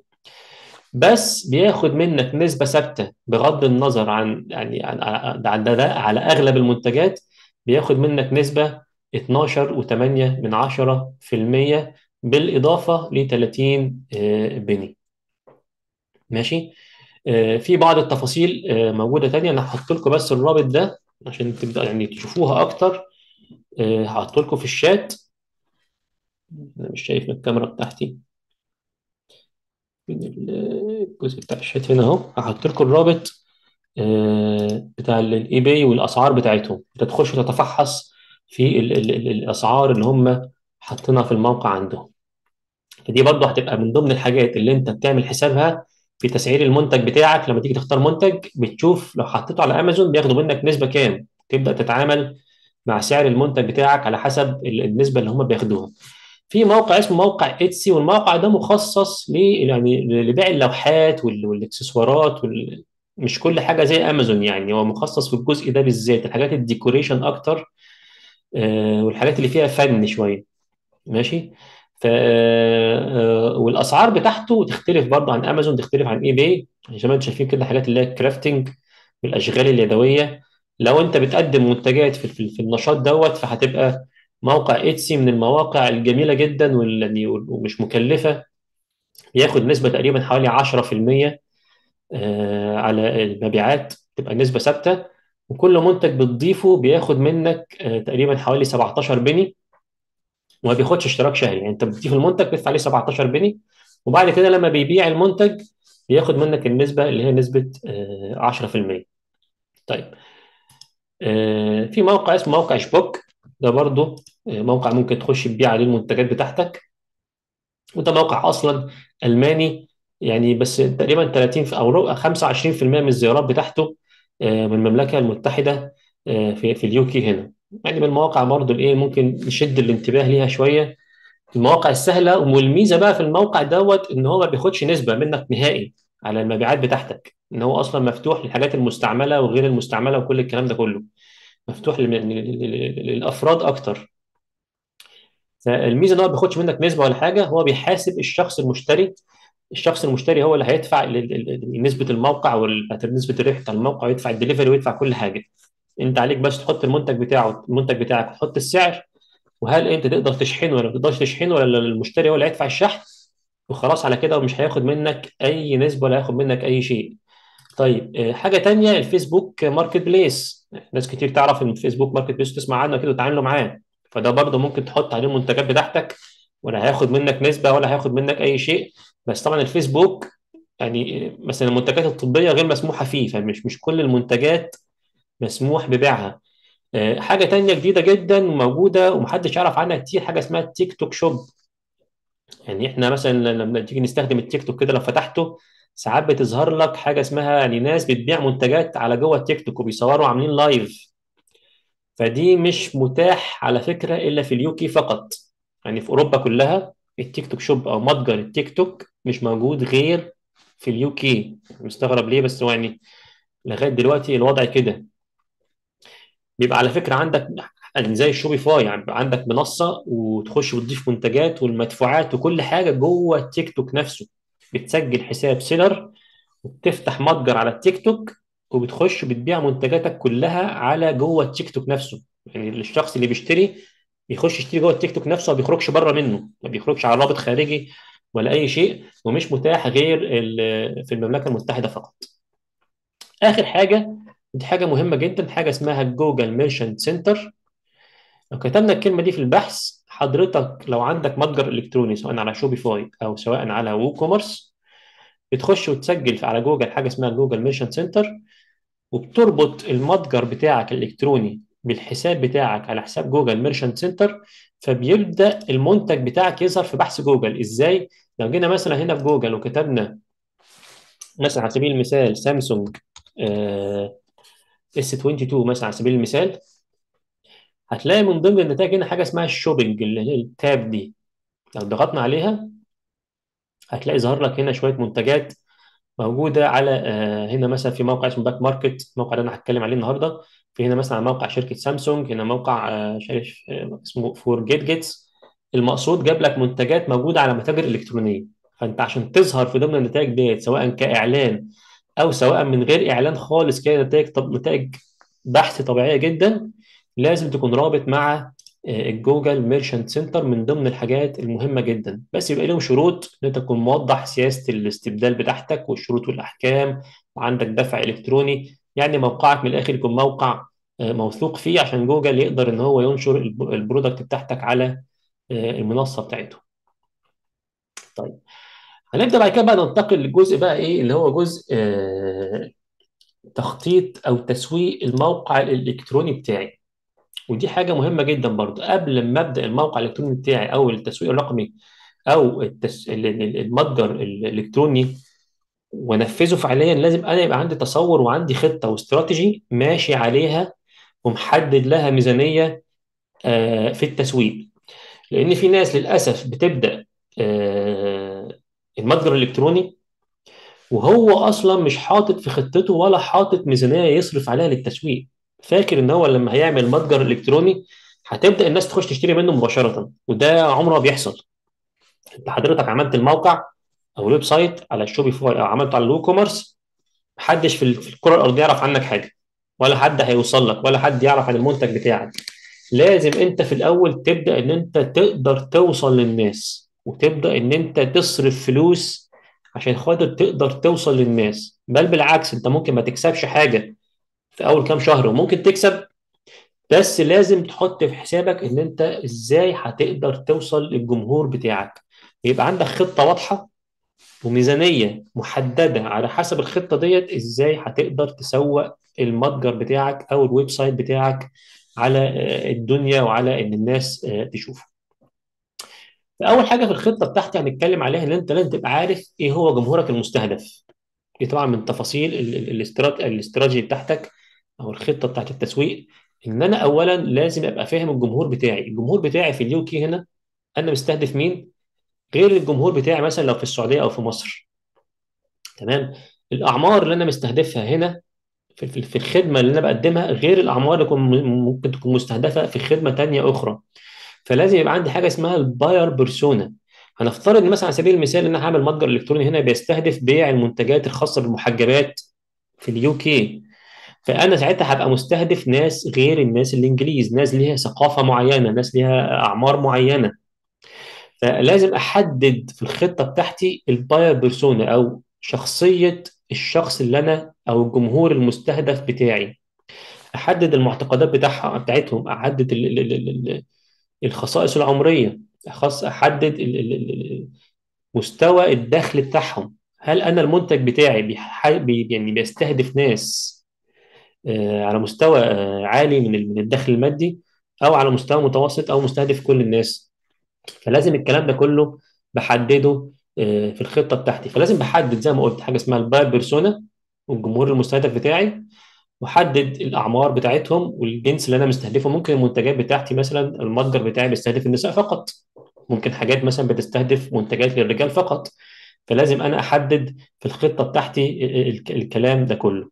طيب آه، حاجة تانية آه، حاجة مهمة جدا. بيقول لك إيه؟ Their pain points.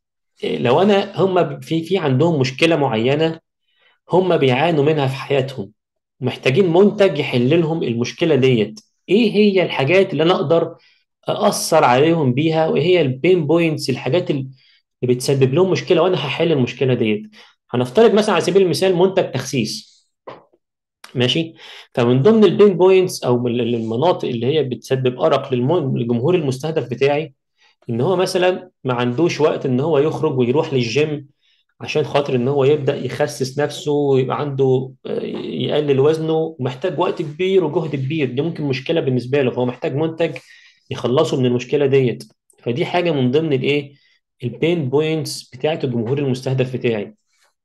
ممكن نقول مثلا مثال المحجبات إن أنا ببيع مثلا منتج خاص بالمحجبات. فمن ضمن ال pain points بتاعتهم إن هم مثلا عاوزين آه، آه، طرح تتلبس بسهولة مش عايزين حاجة فيها صعوبة. فلا أنا جايب لهم منتج جديد يتلبس بسهولة جدا في مثلا كبسولات من هنا في طريقة معينة إن أنت تلبسيه بأسرع وقت وشكله شيك وشكله ظريف. فأنا بحل لك المشكلة ديت. أو مشكلة إن أنا مش لاقية متاجر بتبيع منتشرة في ال UK. فأنا محتاجة حاجة أشتري منها. فأنا بقدم لك الخدمة دي اونلاين مختلف مقاسات مختلفة وقماشات مختلفة ألوان مختلفة و styles مختلفة بحل لك المشكلة بتاعتك ديت. فلازم أفهم الجمهور بتاعي آه، كويس جدا. بعد كده في الخطة بتاعتي أو في في, ال في الاستراتيجي اللي أنا همشي عليها لازم بقى هحدد الميزانية بتاعتي حسب حاجة اسمها ال marketing funnel ال e-commerce marketing funnel الجمهور بتاعي المستهدف اللي أنا حددت الشخصية بتاعته دي. عشان يبدأ يخش ويشتري من الموقع بتاعي لازم بيمر بمراحل معينة. المرحلة الأولى اللي إحنا هنتكلم عليها في القمع ديت وموجودة في أول القمع من فوق اللي هي مرحلة ال awareness إن هو أصلا محتاج يعرف عن الموقع بتاعي. محتاج يعرف إن أنا موجود. محتاج يعرف إن أنا بحل له المشكلة بتاعته اللي هو بيواجهها ديت بقدم له منتج يحل له المشكلة بتاعته ديت.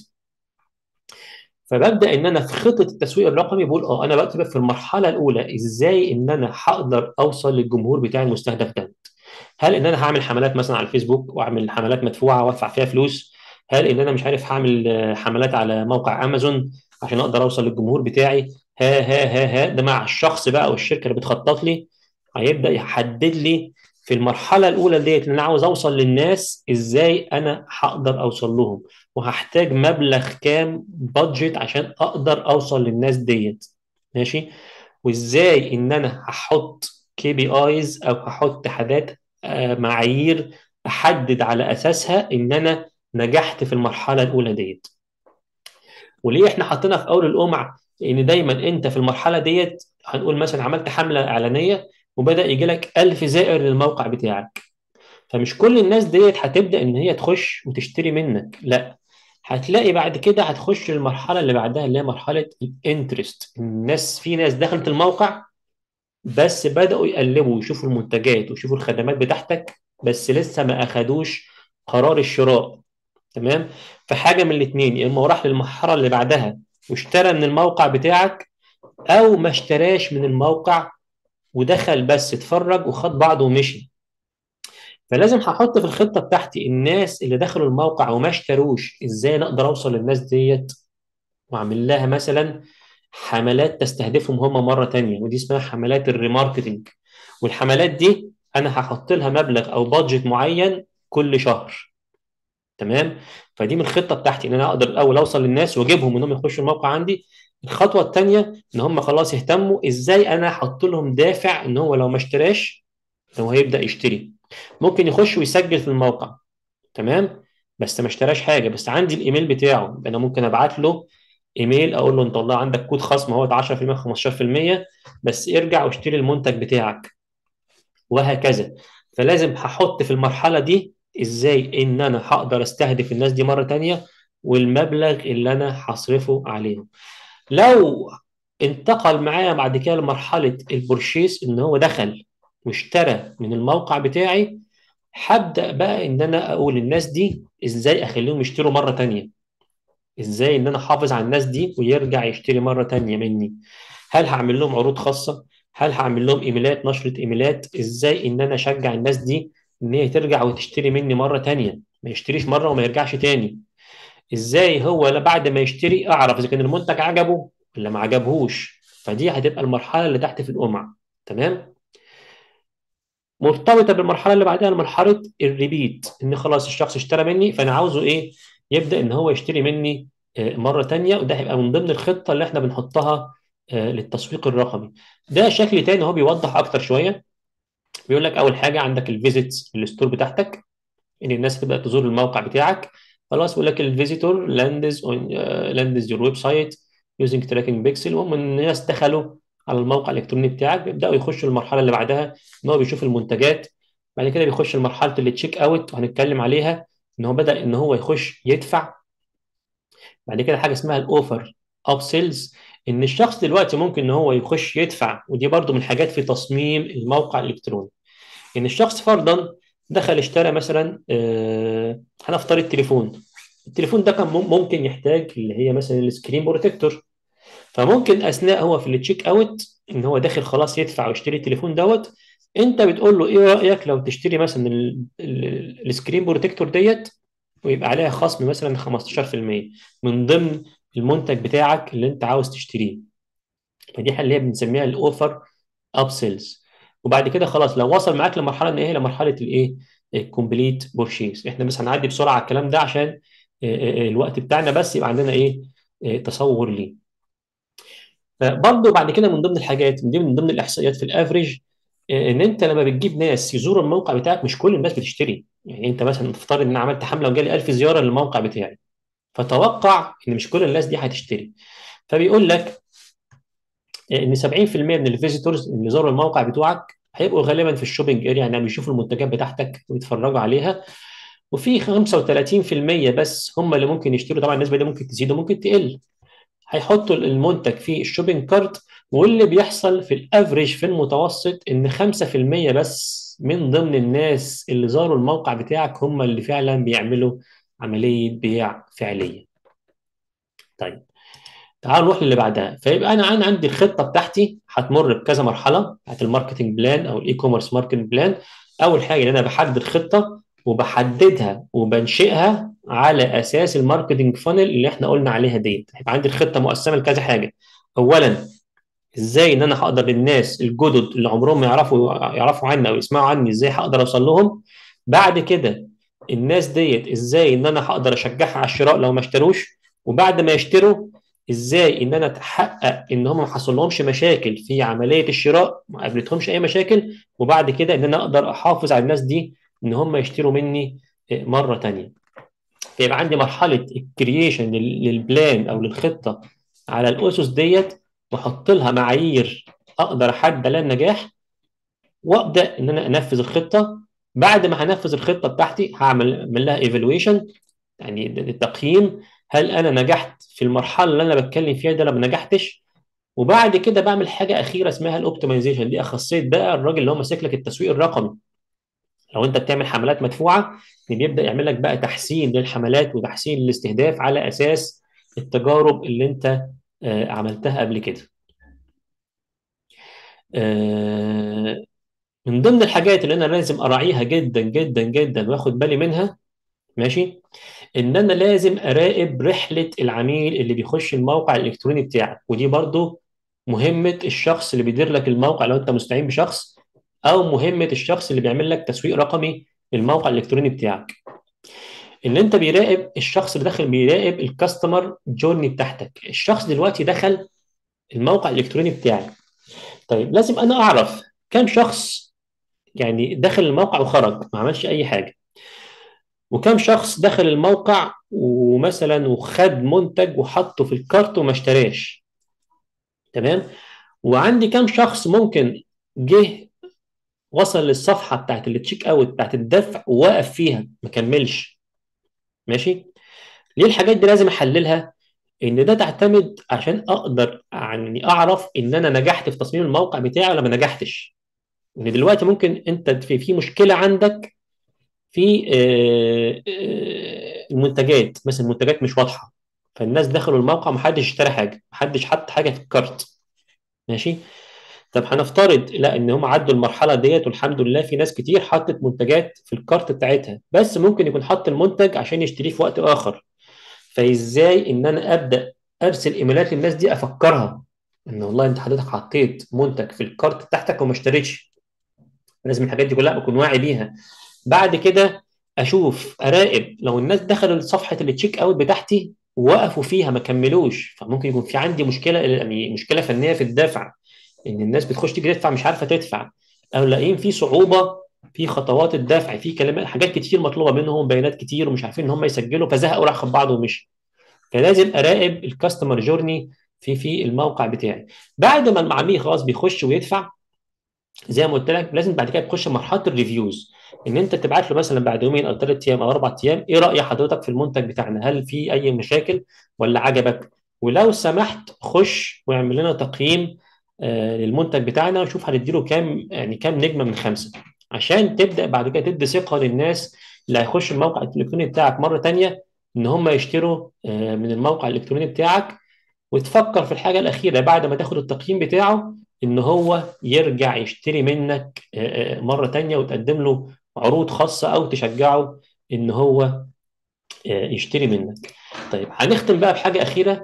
آه، ال website بتاعي في checklist كده شوية حاجات لازم أتأكد إن هي ال website بتاعي بيعدي النقط ديت. تحط له كده اختبار واحد من عشرة كل نقطة من دول بيعديها يبقى كده الموقع الإلكتروني بتاعي التصميم بتاعه مفيش فيه أي مشكلة. أول حاجة ال clear navigation إن الموقع سهل إن الناس تتصفح فيه. بيقول لك هنا يعني إحصائية إن 50% من زوار من زوار الموقع هيسيبوا الموقع بتاعك خلال 15 ثانية لو ما لقوش الحاجة اللي هم بيدوروا عليها. ماشي؟ وده بيحصل في بعض الناس اللي بيبعتوا لي آه، عايزين نعمل حملات. يعني كان مرة واحد عم عنده عرض على الايفون طب حضرتك آه، يعني ماشي آه، قول لي تصميم الإعلان هبعت لك تصميم الإعلان مفيش فيه مشكلة. طيب إيه الصفحة اللي الناس هتروح عليها عشان تشوف العرض بتاعك؟ فبعت لي الرابط بتاع الصفحة الرئيسية في الموقع. هنا قلت له حضرتك دلوقتي الشخص اللي هيشوف الإعلان عاوز يخش يشتري جهاز آيفون. فلما هيروح على ال landing page أو هيروح على صفحة يلاقي فيها منتجات تانية مش هيقعد يدور على المنتج اللي أنت كنت بتتكلم عليه غالبا هيسيبك ويمشي. فهنا فعلا ده بقول لك إن 50% من زوار الموقع لو راح موقعك وما لقاش الحاجة اللي هو بيدور عليها خلال 15 ثانية فاعرف إن هو هيمشي آه، ويسيب الموقع بتاعك. ثانيا لازم يكون الموقع سهل التصفح. يعني شوف لو رحنا على الموقع اللي هو اسمه بلاك ماركت اللي أنا كلمتكم عليه أو باك ماركت أهو. هناخد ده كمثال نشرح عليه. باك ماركت dot com أهو آه، شوف هتلاقوا عندي ال navigation طريقة تصفح الموقع سهلة مفيش فيها مشكلة. اولا عندك القائمه اللي فوق واضحة وفيها كل ال- ال- ال- الأقسام ال categories بتاعتهم. تنزل تحت مقسم لك هنا مثلا ال most wanted المهم إن الموقع في الآخر ال navigation بتاعه مفيش فيه تعقيد مفيش فيه مشاكل. سهل جدا إن أنت تعمل navigation للموقع بتاعهم. طيب بعد كده عندنا حاجة تانية وحاجة مهمة جدا. يقول لك ال mobile responsive design إن الموقع بتاعك لازم يكون مناسب لمختلف الشاشات. وفي إحصائية بتقول إن 54% من آه، زوار المواقع على الإنترنت 54% سنة 2021 كلها كانت عن طريق أجهزة الموبايل. طبعا النسبة دي دلوقتي نتوقع إنها زادت في 2023 ممكن توصل ل 75% ماشي؟ وبيقول لك إن 62% من ال smartphone users have made a purchase using their mobile يعني 62% من مستخدمين أجهزة التليفون عملوا عملية بيع عن طريق التليفون وليس عن طريق آه، الكمبيوتر في آخر ست شهور آه، ليهم. فلازم الموقع الإلكتروني بتاعك تتأكد إن التصميم بتاعه مناسب آه، لكل الشاشات. طيب إيه تاني غير كده؟ موضوع سرعة تحميل الموقع. ودي حاجة خطيرة جدا جدا جدا.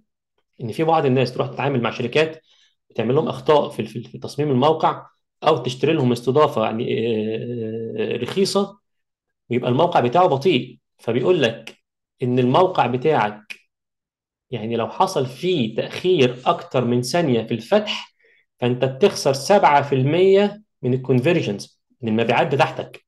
يعني الشخص اللي هينتظر هينتظر عشان كتب اسم الموقع أو ضغط عليه لو مش هيظهر له خلال ثانية تعرف إن أنت هتخسر حوالي 7% والنسبة دي ممكن تزيد كل ما الموقع بتاعك يتأخر في الفتح أكتر.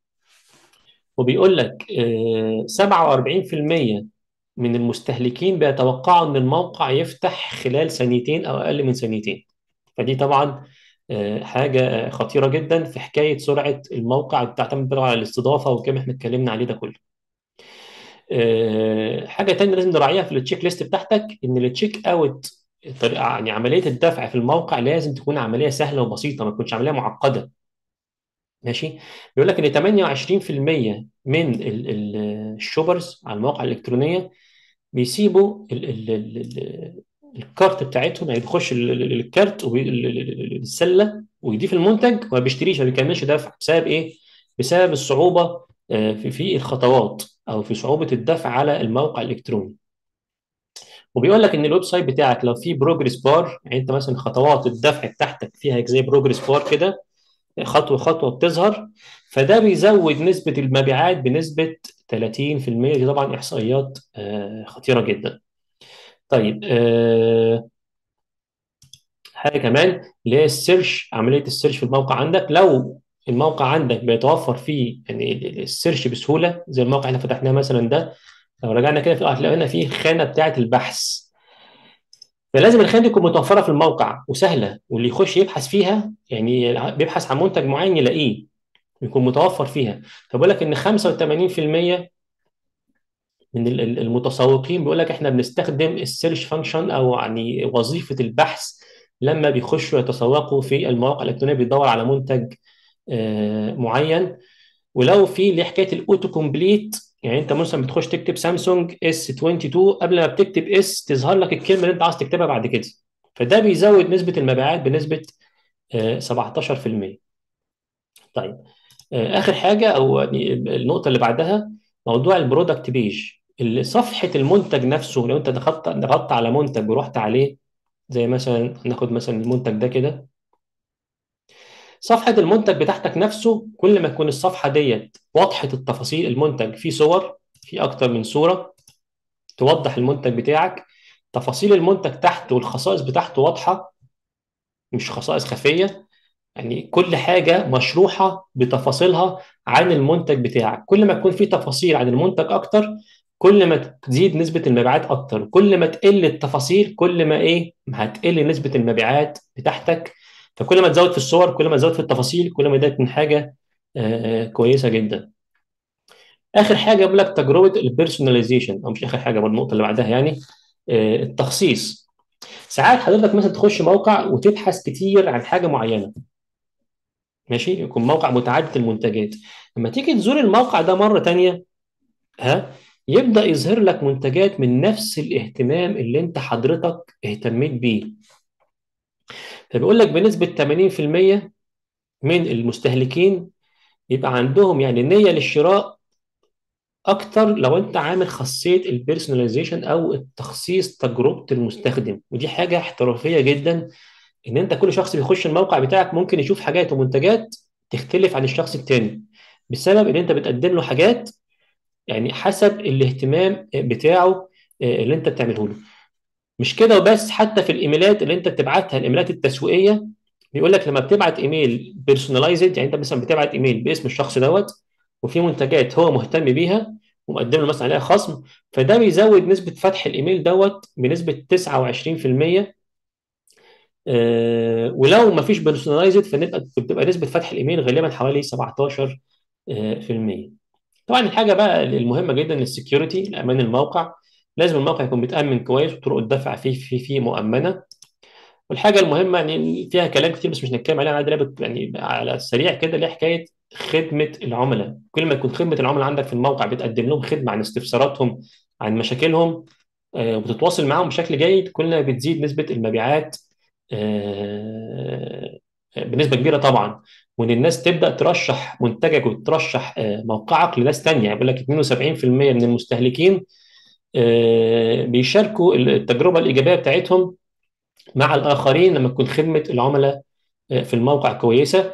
ودي بقى بعض النصائح إن أنت تقدم multiple channels يعني مثلا تقدم أكتر من طريقة للتواصل معاك عن طريق التليفون عن طريق الإيميل عن طريق الشات عن طريق الماسنجر.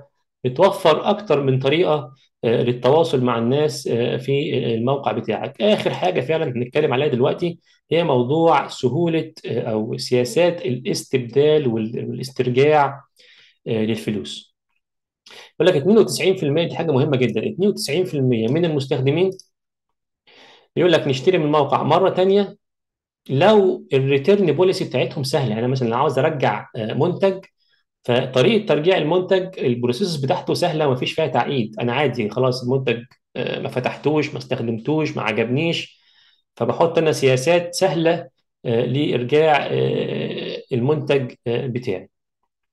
فلازم تكون السياسات في الموقع عندك واضحة ومكتوبة في الموقع. حتى إحنا لو رحنا هنا على الموقع دوت هتلاقوا ان هم إيه يعني آه، شايفين ال refund آه، هتلاقي ان هنا مثلا إيه بيوضح لك آه، شوف كاتب لك هنا إيه يعني 12 month seller كاتب لك ان في ضمان 12 شهر آه، الدليفري سريع. لو ضغطت مثلا على مش عارف اجيبها فين والله موضوع اهو free return free 30 day return شوف هما حاططها لك واضحة كده آه، ثابتة في كل المنتجات. يعني انت عندك 30 يوم مجانا تقدر ترجع آه، المنتج بتاعك طبعا حسب الشروط والأحكام بتاعتهم. فكل ده بيزود آه، في نسبة آه، المبيعات بتاعتهم.